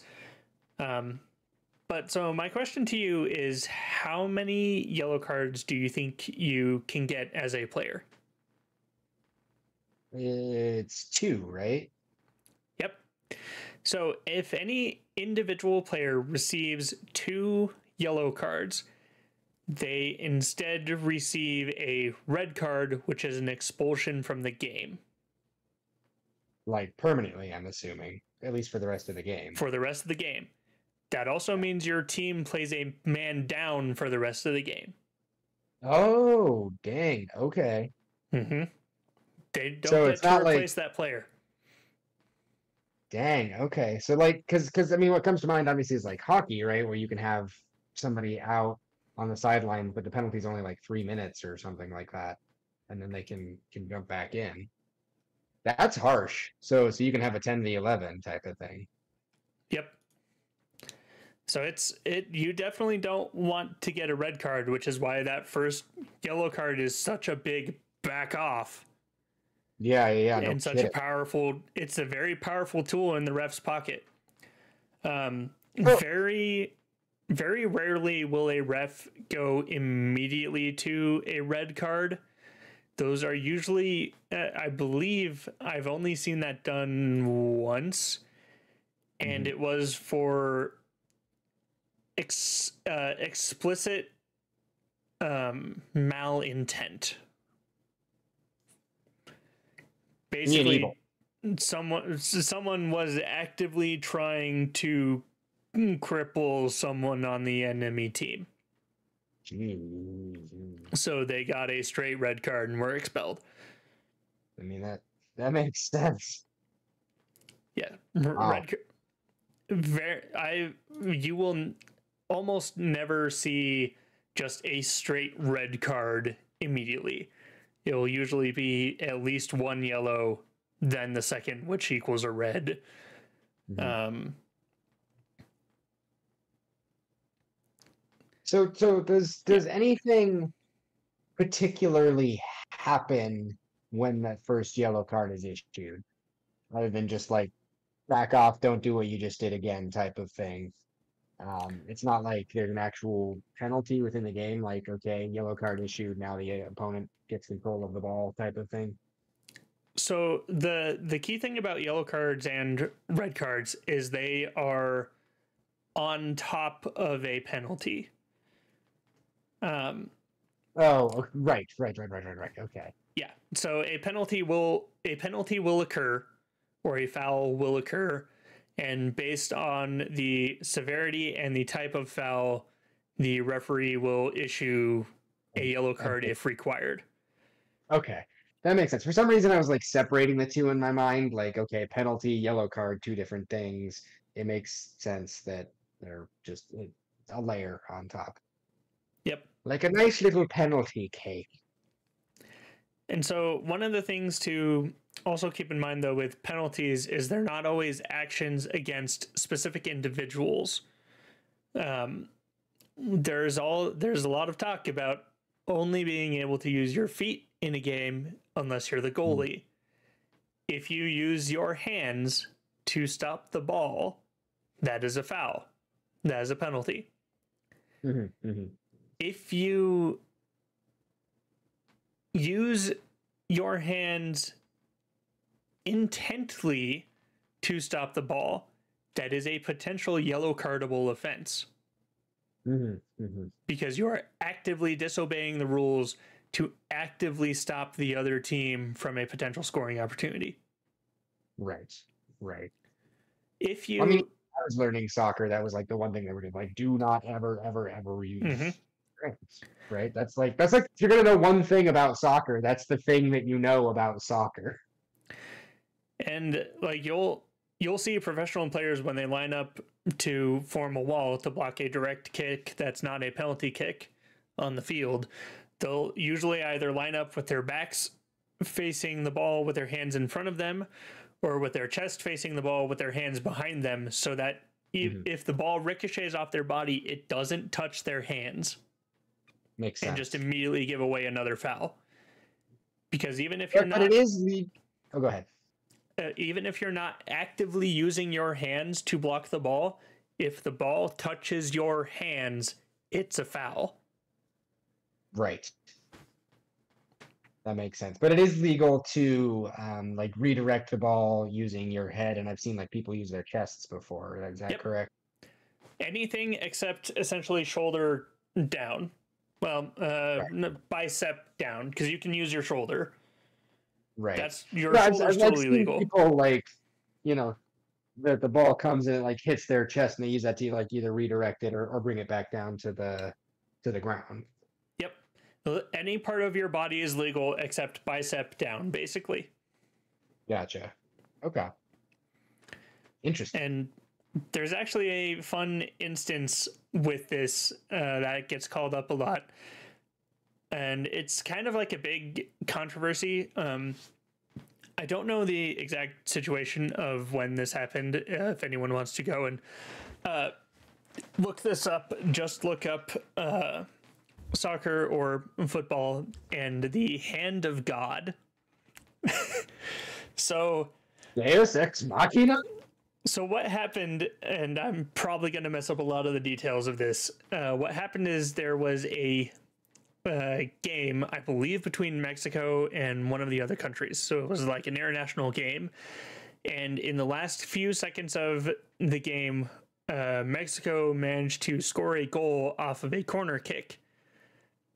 Uh, however, the goal was scored by one of the players on Mexico's team hitting the ball into the goal with their hand. Okay. But even after reviewing the goal, it was called a legal goal, and the team won because of it. And when questioned about it, the offending player who used his hand said he scored the goal with the hand of God. okay.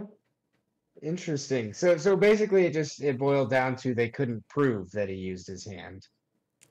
At the time, no, they could not prove that he used his hand. Upon further review and years since, he used his hand. Dang. Okay, yeah, I have the Wikipedia page pulled up here. Um, it would looks like Argentina versus England, Argentina, 1986 yeah. FIFA World Cup. The goal was illegal.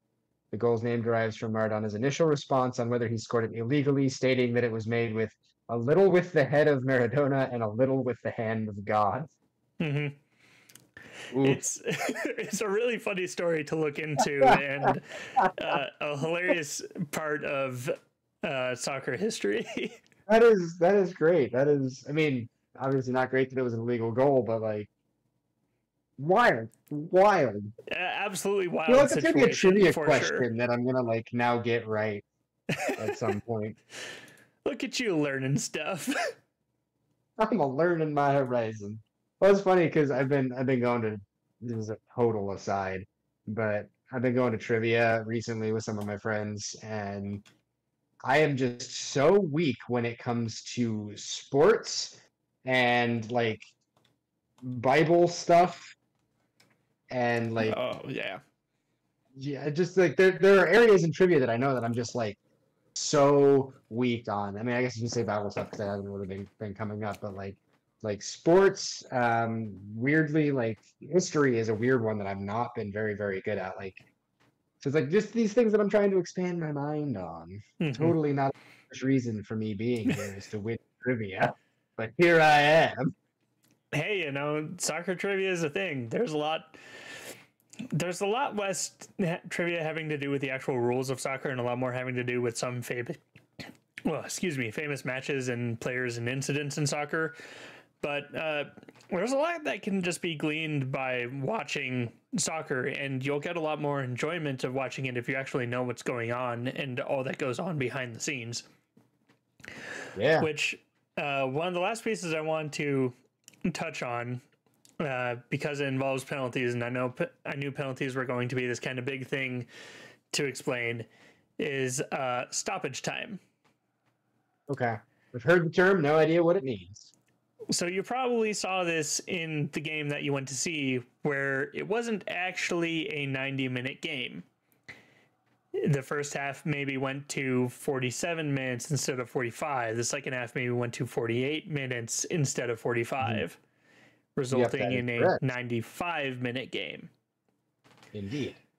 So stoppage time is the ref's ability to make sure that the players get a full uh, 45 or 90 minutes of play.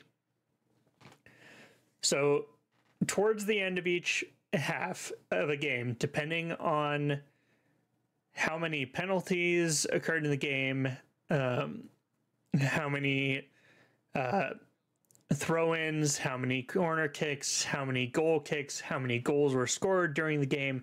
Essentially, any stoppage of play uh, gets noted by the ref and calculated by some means unknown to me. I think half the time they're just BSing a number, anyways. Um, but it gets calculated and added into stoppage time, where at the end of the half, the ref will give a number to the sideline and they'll usually hold up a big old sign that says like three or four or what we saw a lot in the world cup was like seven and 8 and that's how many more minutes you have past the 45 to continue playing before the half is actually over Gotcha. Okay. And this, is called stoppage time. And the reason I specifically brought up the World Cup is uh, more often than not, you will only see a stoppage time between two and five minutes. The World Cup was fun. Uh, at least the previous men's World Cup was fun because majority of the matches had seven to nine minute stoppage time averages, Dang. which is almost it's- unheard of. Yeah. Well, I mean, I, now that you're mentioning it, there was an eight minute stoppage time um, in, in the game that I went to, Mhm. but um, so so I guess I guess the the question is, I, which doesn't sound like you quite know. It's not just a one to one of like, okay, the game was stopped for X number of minutes, and that's how many minutes of stoppage time. Is there like an actual calculation that happens? I mean, even if you don't know the calculation, or is it? As far as I'm aware, it's not like an actual calculation because there's no set time for anything. It doesn't take, say, it- n- not every throw in is going to take, say, 10 seconds for the ball to get back in play. Sometimes they'll take two seconds, sometimes they'll take 11 seconds. It- It's not consistent Right. um, each goal celebration is going to be different depending on the situation. A goal that puts your team at one to zero is going to be a lot different than a goal that puts your team two to two. Mm-hmm. Um, the celebration is going to be bigger for the two to two, and then the preceding three to two is going to be even bigger of a celebration. Um, so, uh, as as far as I'm aware, having never refed, there is no set time. Uh, there's no set calculation for it. It's all situation dependent. And even then, uh, even if you play through a match, say you get to your 45 minutes, you get two minutes of stoppage time, you play to that two minutes, but your team is still in an attacking position on the goal, the ref's not going to call the game in the middle Right. of your attacking chance. They're going to wait for the ball to be cleared to a position where it is obviously no longer a scoring opportunity before they call the game. Okay. Okay. So even even the stoppage time is fluid. The end of a match is always fluid, which is partially why trying to take that time off of your opponent is so important. Right. So, question then, follow up. Mhm. Um, is overtime a thing for tied scores, or is it just stoppage time? So that depends on the type of match. For a regular season match, there is no overtime. Um, the match will be called as a draw if they if the team is tied at the end of the game. Mm-hmm. Um, for tournament play, um, past group stages into actual tournament stages, uh, I believe at half you go, or I believe if you are tied at the end of a match, you go into. If it's not the final, I believe you go immediately into penalties. Um, you go you go into a penalty shootout. Oh, okay. Like, if it if it is the final, you go into uh two I think it's 15 minute halves after the game Oh, okay. and then into penalties if you're still tied. interesting. So it all They- depends on whether or not you like it's acceptable to have a tie. It kind of sounds like, like if the game. Yeah, let me let me double check that real quick. Ba, ba, ba, Well, while we are doing that, I'll explain why I'm asking the question. Um, Yeah, yeah, you know, the that I went to, I got super like hyped because our team, um, the San Diego Waves, basically we were we were down a goal and literally at you know 89 59 like i shit you know like 89 59 we hit and got a, and scored a goal like literally the last second um, so I was like super hyped. We tied it up in the last last second, and I just assumed, being the noob that I am, that it was because we had tied it up in the last second that we then got our eight or whatever minutes of of overtime. But it sounds like that was more of a stoppage time thing than anything. Mhm. Wild. I mean, still hyped that we tied it up in the last second, but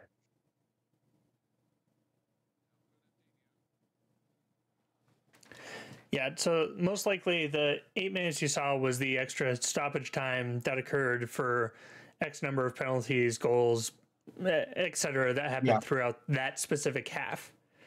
that makes sense. Uh, that makes Yeah, stoppage is always added on the half for the half. So penalties that occur in the first half will not affect the second half's stoppage time. correct. They will affect the first half's stoppage time. Cool. Okay. Um, Makes sense. Makes sense. So yeah, I, I just double checked. Uh, in tournament play, once you are outside of group stages, because group stages count draws still. Um, once you're outside of group stages, it goes to uh, two 15 minute halves. Um, so you essentially get 30 plus minutes to try and get another goal. If that doesn't occur, then you go into a penalty shootout. Um, now, a penalty shootout, we go back to our fun little diagram. Go back, diagram. And I'm going to move over to this right side here. So Hey, each team, I'm just being silly. okay. Um, you know what? Actually, we're just going to freshen up here. So in the penalty shootout, uh, each team will select five. Whoa, you can't see that at all. There we go. Uh, five players. So you have your five uh, blue players and your five, whoa, red players. And you're generally going to want these to be the best scorers on your team Okay. because what they're going to be doing is each one is going to go uh, one at a time, alternating up against the opposing team's goalie as if it were a standard penalty shot. Gotcha. And Penalty shot, not goal kick. Goal Yep. kicks the other way. and the other teams will will usually just kind of line up along center field or the the other their teammates and opposing players will just line up on center field and then watch um, so red would go up and shoot against blue first uh, then the red goalie would swap in the first blue player would come up and blue would shoot against red and you alternate back and forth Okay, that makes sense. Until somebody scores, hopefully it's inside the match. until majority is scored. Which means if you are tied at the end of five penalty shots per team, you go into another round of five. Oh, okay. Okay. Because you are in a situation that cannot have a draw, so you have to determine a winner. Makes sense. So So you, you want to make keep- sure that each team has enough chances to to make it even. That makes sense. Yep. Um, and so these, this is where you'll definitely see the usually the goalies specifically try to implement every single mind game. Oh, excuse me, every single mind game trick that they have, from showboating after blocking a goal to making weird faces and moving back and forth the jittery before the opposing player gets to take a shot. Mhm. Uh, because since since the penalty spot is so close to the goal, goalies majority of the time have to do that thing I was talking about earlier, where they have to predict where the ball is going. Yeah, that is that's harsh on the goalies, man. Mm-hmm. And if you watch the uh, World Cup finale game, at least I'm pretty sure this was the finale and not the semifinals, because it's all a little bit of a blur. Um, Argentina and France, because I believe this was the finale game, Argentina and France went into a penalty shootout for the title of World Cup and Argentina's goalie was so good at the mental game that what they forced the French team to do in those penalty shootouts was insane to watch. Because they, Also, look that up. If you can find that video, you should send it my way because that would be I wild. imagine it's on. I hope it's on YouTube.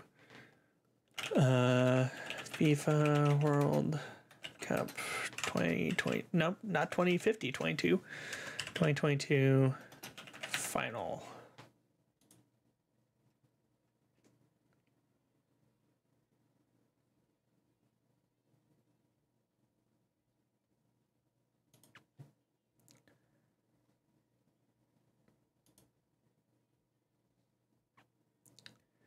Yeah, so they yeah, so they they tied 3 to 3 in the match and w- in penalties Argentina went 4 to 2 in penalties. wow, wow. Huge Okay, that's that's Huge impressive. game. Three shots. Wow, wow, wow, wow, wow. wow. yeah, huge huge game. It was uh, like I said, Ar- Argentina's goalie had the moves. It was such a crazy thing to watch. Um, just a- absolutely mind mind boggling. trying to see if I can get this to load. I don't know if this will have everything in the shootouts in it or not. I kind of doubt it.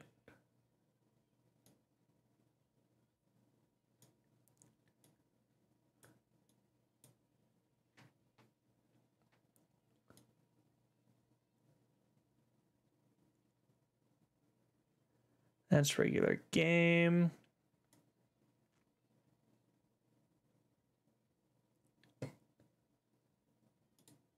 Okay. Uh, da da da da da. There's a. Uh, oh, I've locked your camera. Come back. There we go. Um, so this is a this is a free video you can find on the FIFA website. Um, so the blue team is France. The goalie in green back here is Argentina. Um, one of the interesting things about soccer is the goalie has to be in a different color from the rest of the team. Yeah, I noticed that. Um, just it, it's mainly to make them stand out for the refs' sake, so that they can easily identify if someone has their hands on the ball. Oh, they're supposed to. They're the goalie because they're in this outrageous color. Um, so the uh, Argentina generally wears uh, white and like a sky blue. France is this gold and navy blue. Um, but the Argentina goalkeeper is in uh, green, and I think the France goalkeeper was in orange. Right, right, right. Um, a boom save, and you can Oof. see afterward he like immediately went to a celebration. Boom, He's goal like, because the "Yeah." goalie dove the wrong way. Taking off the shirt in celebration, getting into the mental game against the enemy team, cheering. Like Man, um, look at that face. So, uh, this is a regular match. Come on. So blocks going right here. You can see immediately gets up, is basically charging the other player, jumping in the air, Yeah. getting pumped, getting his team pumped, and at the same time demoralizing the other team. Yeah. Huh. It's a whole other layer of the strategy. Mm-hmm. Penalty shootouts are completely separate strategy from the rest of the game entirely. Wow. It is entirely a one-on-one between you and the goalie. Wild. It's it's some crazy stuff.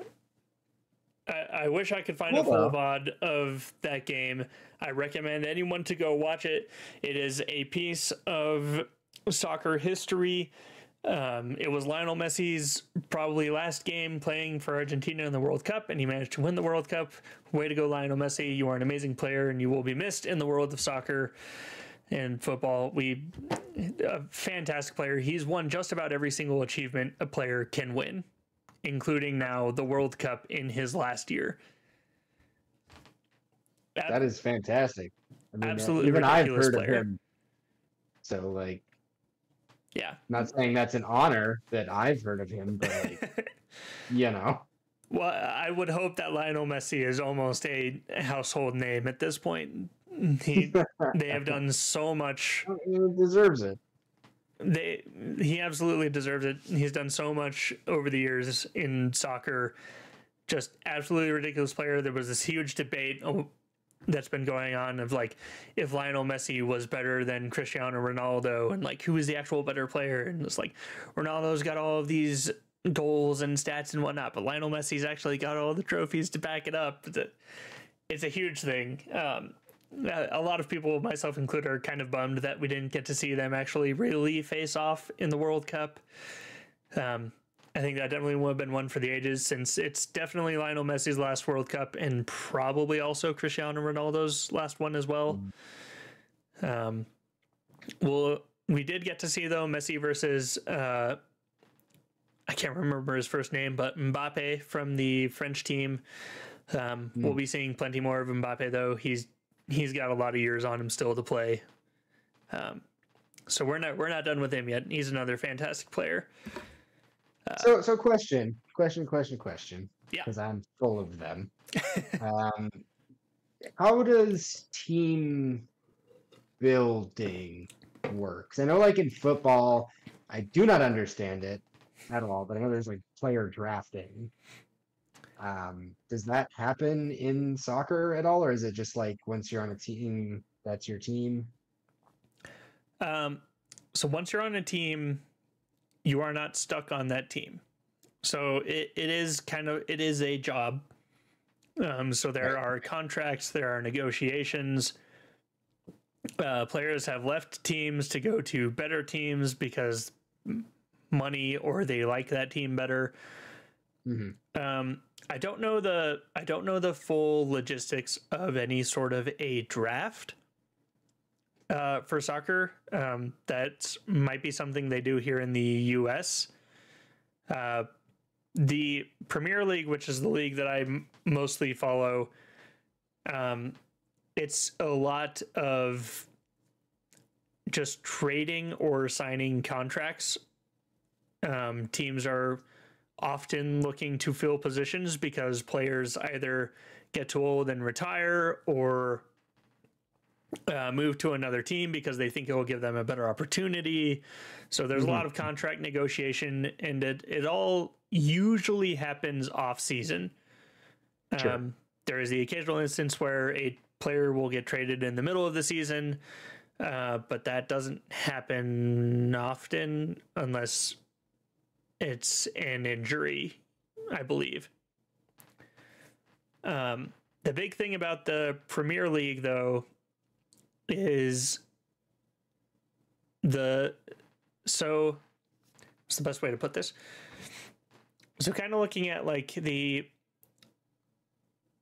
NFL. So, you've got the NFL teams and then the college teams that the NFL teams look at to draft players out of. Now, imagine if one of those college teams ended up doing so much better than the other college teams and better than the worst NFL team that those teams swapped places. Mhm. So that college team is now an F- NFL team, and that NFL team is now a college team. That's kind of how the Premier League works. So each season, the three worst teams in the Premier League get put up for what's called relegation. Um, the prem- if the Premier League is like the top of this giant pyramid of different leagues that happen in the UK, well, not the UK, in England. Mhm, mhm. Um, and as as a team does better, they will be able to graduate from their bracket up to the next bracket via a tournament against those relegated teams. Okay. So that's kind of one of the interesting things about the Premier League is every single season you might see three new teams that haven't either haven't been there before or haven't been there in a while that suddenly come on start taking the stage by storm and are suddenly doing really good. And uh Gotcha.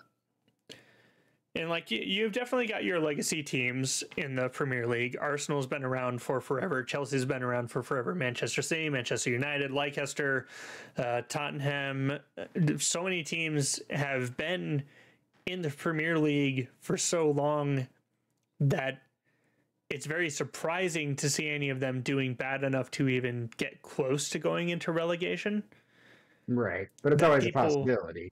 It's always a possibility, but people kind of forget about that for those teams because it's like, oh, Arsenal's been in the league for forever. They'll never get relegated. And then they have a horrible season and get really close to being relegated for half of the season before being able to bounce back. And it's it's this thing that like until it happens, a lot of people don't pay attention to it unless it's their team. Makes sense. Makes sense. So th- that's kind of like it's that's like less of a draft um, and more of just a way that the league kind of makes sure that it's showing off the best of the best that it has to offer. It is the Premier League, so it has to show Premier soccer. Makes sense. Makes sense. So, how did you particularly personal story, choose your favorite team? So I went about this in the dumbest way possible. Yes, let's Um, go. so uh, a, a lot of the times you pick your team because you have some s- sort of tie to that team. Like for instance, Sure. I'm a Denver Broncos fan. I live in Colorado. I've lived in Colorado my whole life. I love it here. I root for the Broncos because they are Colorado's team. I'm always going to root for the Broncos because they're the team I've known my whole life. I obviously don't live in the UK or in Europe anywhere. So I have zero ties to any of the teams over there. Like Mhm. just none. I've got a buddy who I work with who is a fan of Chelsea because he's from uh, Belgium. Mhm, mhm. So he grew up with a lot of ties to Belgium and he likes the Chelsea team because of that. I, when I was very young, and both me and my brother were playing soccer uh, as kids, there was a program that you could get into called Arsenal Soccer. It was Okay. essentially an uh, uh, I hate to call it an elite program, but there it was a different league than the league I played in, which was just a recreational league. And Sure, sure, sure. uh, my brother tried out for soccer, got on to one of the teams because you had to do all these tryouts, and then depending on how well you did at tryouts, you got set at, at a different Arsenal level. It was like Arsenal, like gold, silver, blue, purple, red, something like that. Yeah, I a think very he got- sensical color scheme. Yeah, I think he got set in Arsenal purple or blue. I don't quite remember how it worked. But like, so when I was a kid, the word Arsenal to me meant good because he was Ah. a good player. He got put onto the good league of the Arsenal League. I was a bad player. I played rec. I never got put into Arsenal. I never even tried out for Arsenal soccer. So, uh, I love everything about this. This is just so you, and I love it. so many years later in high school um, because this happened back when i was still in elementary school super young many years later i had been done playing soccer for at least three years um, just because i got held up in other stuff i do kind of wish i'd stuck with soccer a lot longer but with so many other things going on in my life like orchestra and uh, Lego robotics and eventually Science Olympiad. I just never really had the opportunity to get back into it, and I have lost all of my skill.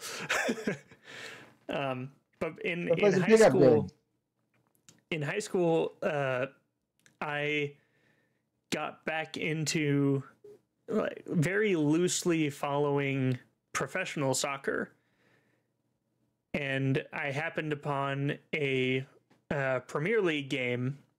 And I think it was between uh, Arsenal and Tottenham, the Tottenham Spurs, and I saw Arsenal on the screen, and I was like, "Oh, Arsenal! That's the thing my brother did. That's cool. I'll root for them." Completely not. Completely associating exactly Arsenal the team to Arsenal the league that's Well, in my state because it's it it's confusing. the name was spelled the exact same the symbol was the exact same even the um mascot the cannoneers was the exact same so i just saw that and went oh arsenal that's cool i'll root for them they seem to be doing well in this game and i i watched the It's fun, game and it was.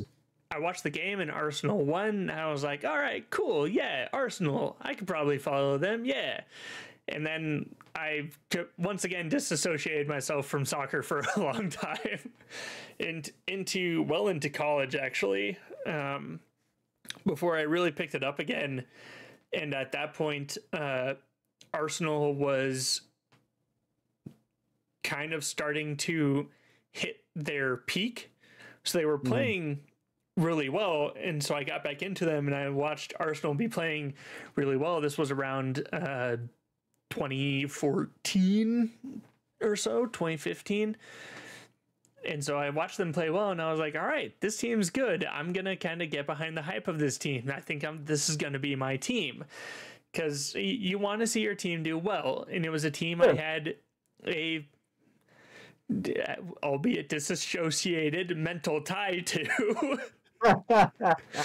so I was like, all right, this is my team. And they immediately started playing real bad. oh, no. I think for the next, uh, it had to have been, it felt like at least four years or so. They Hmm. were a very middle of the road team. they started doing that, like, they weren't really in danger of being relegated, but they were no longer one of the talking point teams. And that's, Right. of course, when I started getting back kind of big into them. And only recently did they actually start making good plays and good trades, and they got us. They have. Huh, I'm gonna gush. So this last season that just ended not too long ago, the 2022-2023 season, is the best Arsenal I have seen in a long time. We had we finally got a great coach. We had a great captain, and we had the team to back both of those up. And like we had a few players that we uh, got the trades in that were supposed to be really good, and they ended up making stupid mistakes that took them out of games for a long series of time. But it's fine because surprisingly, while they were out of the games, we still managed to play. I don't know how, but we still managed to do well, and we were on the top of the board for so long. But the problem was we would get up to the top and we would be sitting at the top and we would get like a comfortable lead because it's all about this points thing that I don't really want to go into because it's very complicated. But we'd be at Another the top. stream, perhaps. We'd be at the top. We'd get this like massive lead, and then we'd just we wouldn't lose games, but we would draw games instead of winning them, or we'd Mm. lose like one game and then draw two or three of them, which meant freaking Manchester City, which is why I picked them for that FIFA game because screw them.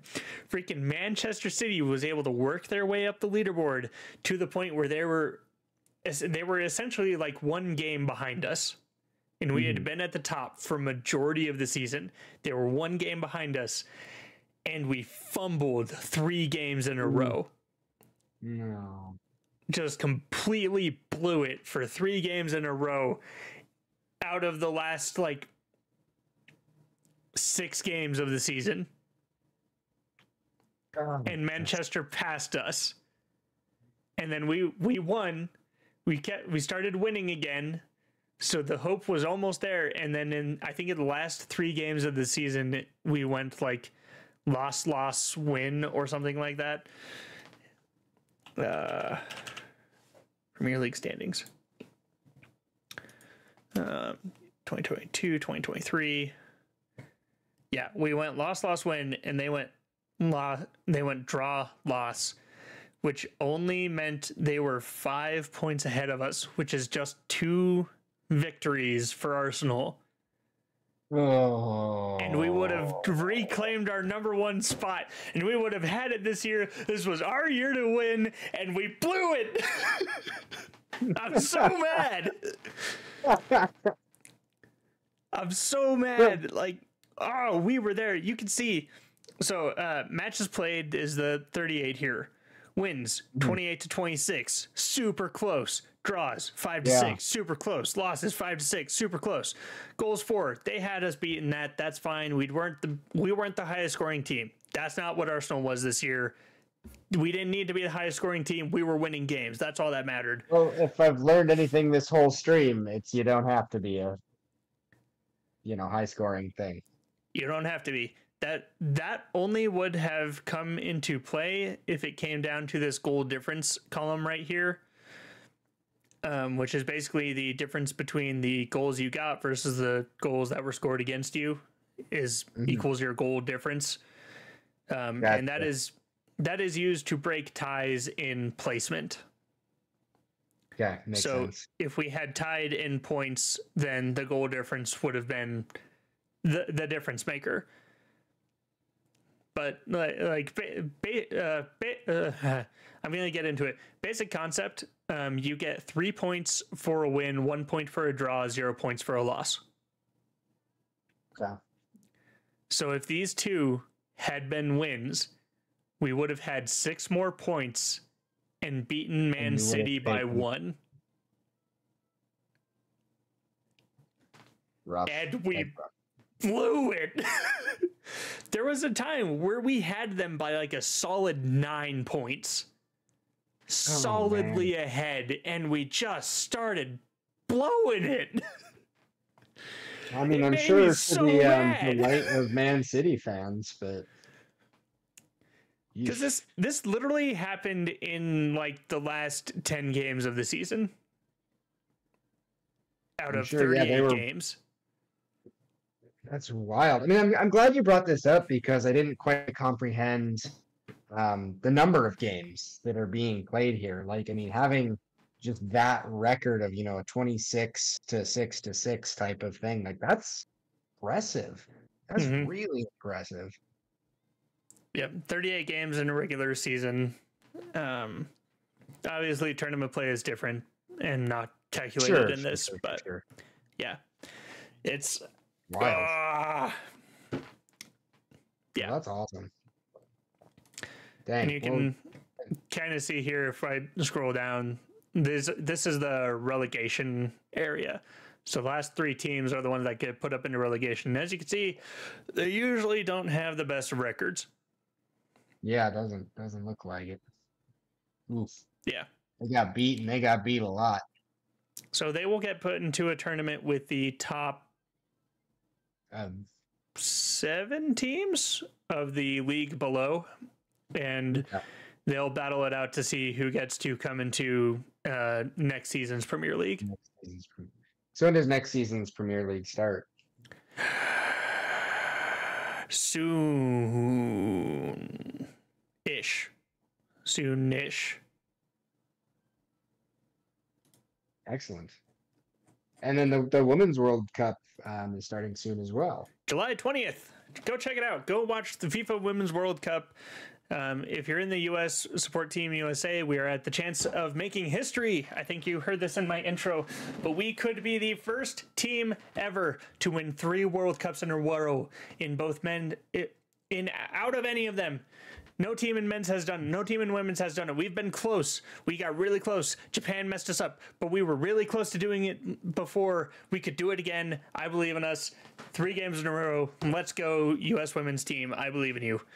As you can see, I have so much passion for this. Well, you got another fan here. Like I'm, I'm ready to go. Like invite me over. I'll be back in Colorado, uh, hopefully for for a couple games. So like let's let's watch some soccer. Let's see if I can apply anything I've learned tonight and and actually sound halfway decent about what I'm talking talking about.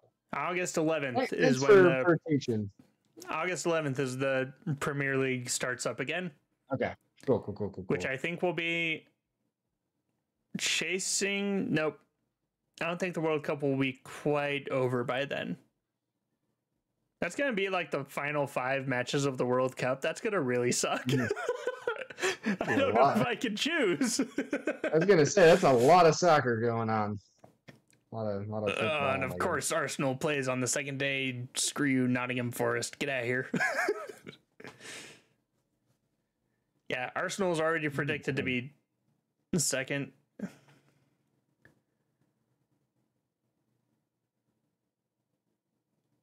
Well, that's exciting. I'm I'm stoked. Ooh, Fulham let's got have in. I don't think they were in last year. Let's go, Fulham.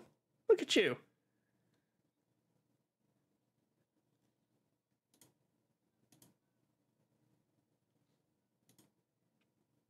Oh no, they were. Yeah, how cool. Okay. How cool. Yeah, uh, d- yeah. Go watch the FIFA Women's World Cup, even if you're not a fan of the U.S. Cheer on your own teams. It's an amazing sport. It's an amazing time. It's it's beautiful people. I I love it. I love it so much. Damn it. I'm here for it. Let's go.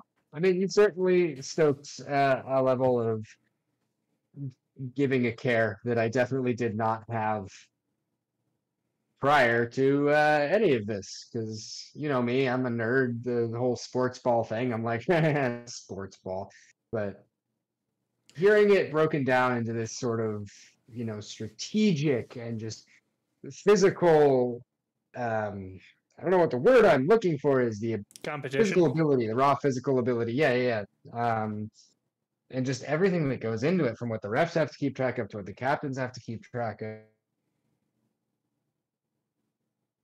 Oh no, he died again. oh no, scuff. Oh no. Oh, are you back? Yeah. Hello. I should You're be back. back. Look the at me, you're a problem child. uh, not to not to stop you in kind of like your ending little mm, tangent there. Um, but, uh, it's hundred uh, percent my fault. I'll be like, um, better at this next collab. Don't Well, don't you worry. Well, I don't, I don't quite want to end just yet because there's one more thing I want to um, talk about, and uh, we we've kind of gone over this a little bit throughout the whole thing, and it's what I think of as the fan experience, and so I, I listen to a decent amount of sports stuff now. I wouldn't say I'm still huge on it. Obviously, Arsenal plays a lot of their games at stupid early in the morning here in the US. Oh my God. Um, so I can only catch the occasional game. Um, but one thing, Right. but in a lot of sports podcast stuff that I listen to where they do something like we did today, where they go in depth on the game and how everything works and all the strategy that goes behind it. One thing I'm always missing from that is what I think of as the fan experience Mhm. what it's actually like to be a fan of the sport that they're talking about. Like why someone who isn't super big into sports, such as yourself or anyone else who might be watching this stream or this video, why why should this matter to them? What Mhm. do they get out of this uh, this thing that they're usually not into watching? And for for me personally, what I get out of it is a sense of hope, excitement, and pride. Mm, mhm. And uh, so obviously, a, a lot of it comes down to like whatever team you decide you want to root for. And I think that's a li- that's kind of where people like have a hard time getting into it is they see all of these teams and they're like, well, which one should I root for? Sure. It doesn't have to be anything crazy. It can be as simple as somewhere you grew up, or just like, oh, hey, I know that word. I like that word. In the case of Arsenal, for me, I have an association with that word. Let's go Arsenal. It could be even be their mascot. Like um, Arsenal's mask Arsenal's teams are called the Cannoneers. So if you like cannons, hey, look, a team all about their mascots Cannoneers. They have cannons. I mean, I I cannot tell you how many times I've picked a favorite something just because it is marine themed. Yeah. Like it, even if going over to hockey, which has a lot more marine themed stuff, you've got the Seattle Kraken is a team. You've got the Pittsburgh Penguins that are a team. You you don't have to be from a from that place to root for that team. I am not from, for example, in football. I am not from Green Bay. I root for the Green Bay Packers as long as they're not playing against the Broncos, because I have friends who like the Packers. So I, I'm going to root for them. I'm going to cheer them on because they're also a team that my friends enjoy. So it it literally can be nothing that gets you into a team. But once you have a team, even if you're just every so often kind of checking in on them, seeing how they're doing, I, I started to develop this kind of sense of pride every time I saw Arsenal won. I was like, yeah, Arsenal won. They're doing good. I'm happy to see them doing good. That's cool. And it, it gave me this joy to kind of look into them and follow them and see, oh, this thing, even though I didn't super care about it at the time, I was happy to see that the team I was rooting for was doing good. It gave me a sense of pride. And Yeah.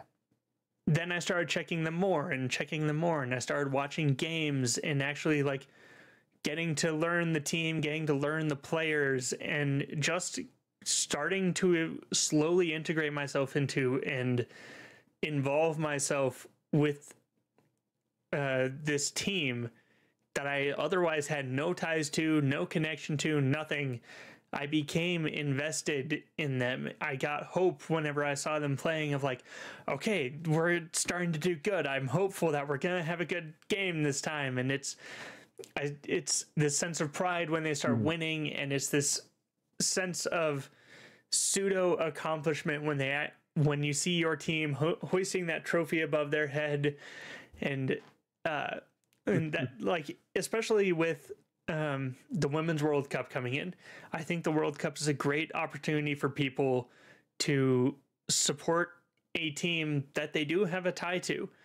If your country is playing in the world cup you have a tie to that team. You can root for that team. You can root for your country because they are representing your country representing your national pride in the world cup in a game that's fun to watch fun to enjoy. If you if you watch the strategy of it, if you watch how the players think and coordinate on the field, it's it's like watching a ballet or a Cirque du Soleil show when you actually know what's happening and get to see it all come together and mesh into this beautiful sport of soccer. And I I think if just more people would give it a chance, watch the games, and if you're in the US, I know it's really hard to watch our own team's games because soccer's hated in the US, and I don't know why. But you can watch the Premier League, you can watch the UEFA League, there you can watch all of the tournaments that US is in almost every year. We're in a decent amount of them now that we're actually doing somewhat decent. But just taking those first couple steps, finding a team that you like for any reason, it's it's an interesting experience and you can try it for a season. If you don't like it that's fine. You tried it for a season. But i almost guarantee you you're going to get that little tickle in the back of your brain of like like a few years later of like huh i used to root for the seattle mm-hmm. krakens i'm going to see how they're doing this year. And you tune in and they're in the stanley cup and you're like holy shit they're actually doing really good. Well, I kind of want to watch a game, see see how well they're actually doing and playing. And you watch the game, and you get engrossed and you get involved with it, and you get to feel this pride. You get to talk to someone next to you if you go to a game and you're rooting for the same team, and this feeling of community, and it's just this Yes, glorious experience that you're not doing alone. You're in fact doing it with a bunch of other people. You can have friendly little rivalries with your friends of like, oh, I like this team. We're gonna beat you since you like this other team. It's it's just fun, and that's that's the fan experience of sports. Yeah. Is that that camaraderie, that hopefulness, that pride, that fun little rivalry with people that it, it means nothing in the end. You won this time, cool. I'll beat you next time.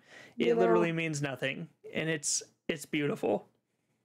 Yeah, I, exactly. I don't think in the end it does mean nothing because everything that you spoke about is something that's just so beautiful about sports, being able to connect with people as humans, the community behind it. I mean, the passion is just it's unreal and it's so cool. It speaks to what we can be as as human beings. So to talk about, you know, the hope part of what you were talking about, it's it's really cool. It's really beautiful and even as somebody who has admittedly avoided sports as a point for um, a while. Um, I, I I see that, and it's so cool. Um, you've got yourself, you know, a new a new soccer fan here. I'm I'm ready to watch watch the World Cup. Um, I'm, I'm just yeah, I'm ready to see what else has in store. I'm I'm sure the tickle will. And for all of you who watch esports but not actual sports, you're still watching sports. I see you out there. Don't sell It's yourself short. Esports is real sports. Yeah, E, e athletes are e, e yeah, I'll call them e athletes, even if you call them competitors. They're just as much sports people as anyone else who plays sports. They're just doing it in a fantasy setting that we can't make a reality because that'd just be weird. true. I mean, I tried League of Legends. I was. There's a lot. Stay away from league. Stay away of- from league. I mean, it's right for the right people. It just was not right for me. Okay, that's I, I have a fondness my for Omega league. Strikers. I have a fondness mean, for the don't- league. Don't we all? It's hmm. Yeah. good. Go Like, Fnatic. You are awesome. I believe in you. Go sports. Go sports ball. uh, but Well, thank you so much for joining me, Dane. It was a pleasure having you and getting to talk sports with you and being able to gush about this thing that I love ever so much uh, with someone who really appreciate and actually took the time to take it all in. I really appreciate you being here. Dude, pleasure is absolutely mine. Like just being able to see the amount of passion that you have for this, and dang, I learned quite a lot tonight. Um, gonna even follow up and like have you quiz me on some of this stuff because I I don't want to forget it. I, I really don't. Um, this is this is cool stuff. So Well, I was gonna have a, uh, a silly little game for us to play here at the end, but uh, we have gone way too late. Um, so we will have to try it at some other time. next stream, perhaps this will not be the last you see of me. it, it will not. Uh, remember, I I teased a little something partway through the stream while we were having scuff issues. So uh, keep your eyes out for that, little stream gremlins. Um, but once again, uh, thank you so much for joining me here on this stream. Uh, that is going to do it for us tonight. Thank you so much for watching. I hope you have a wonderful morning, evening, afternoon, night, whatever time it is for you, wherever you happen to be. And I will catch you next time.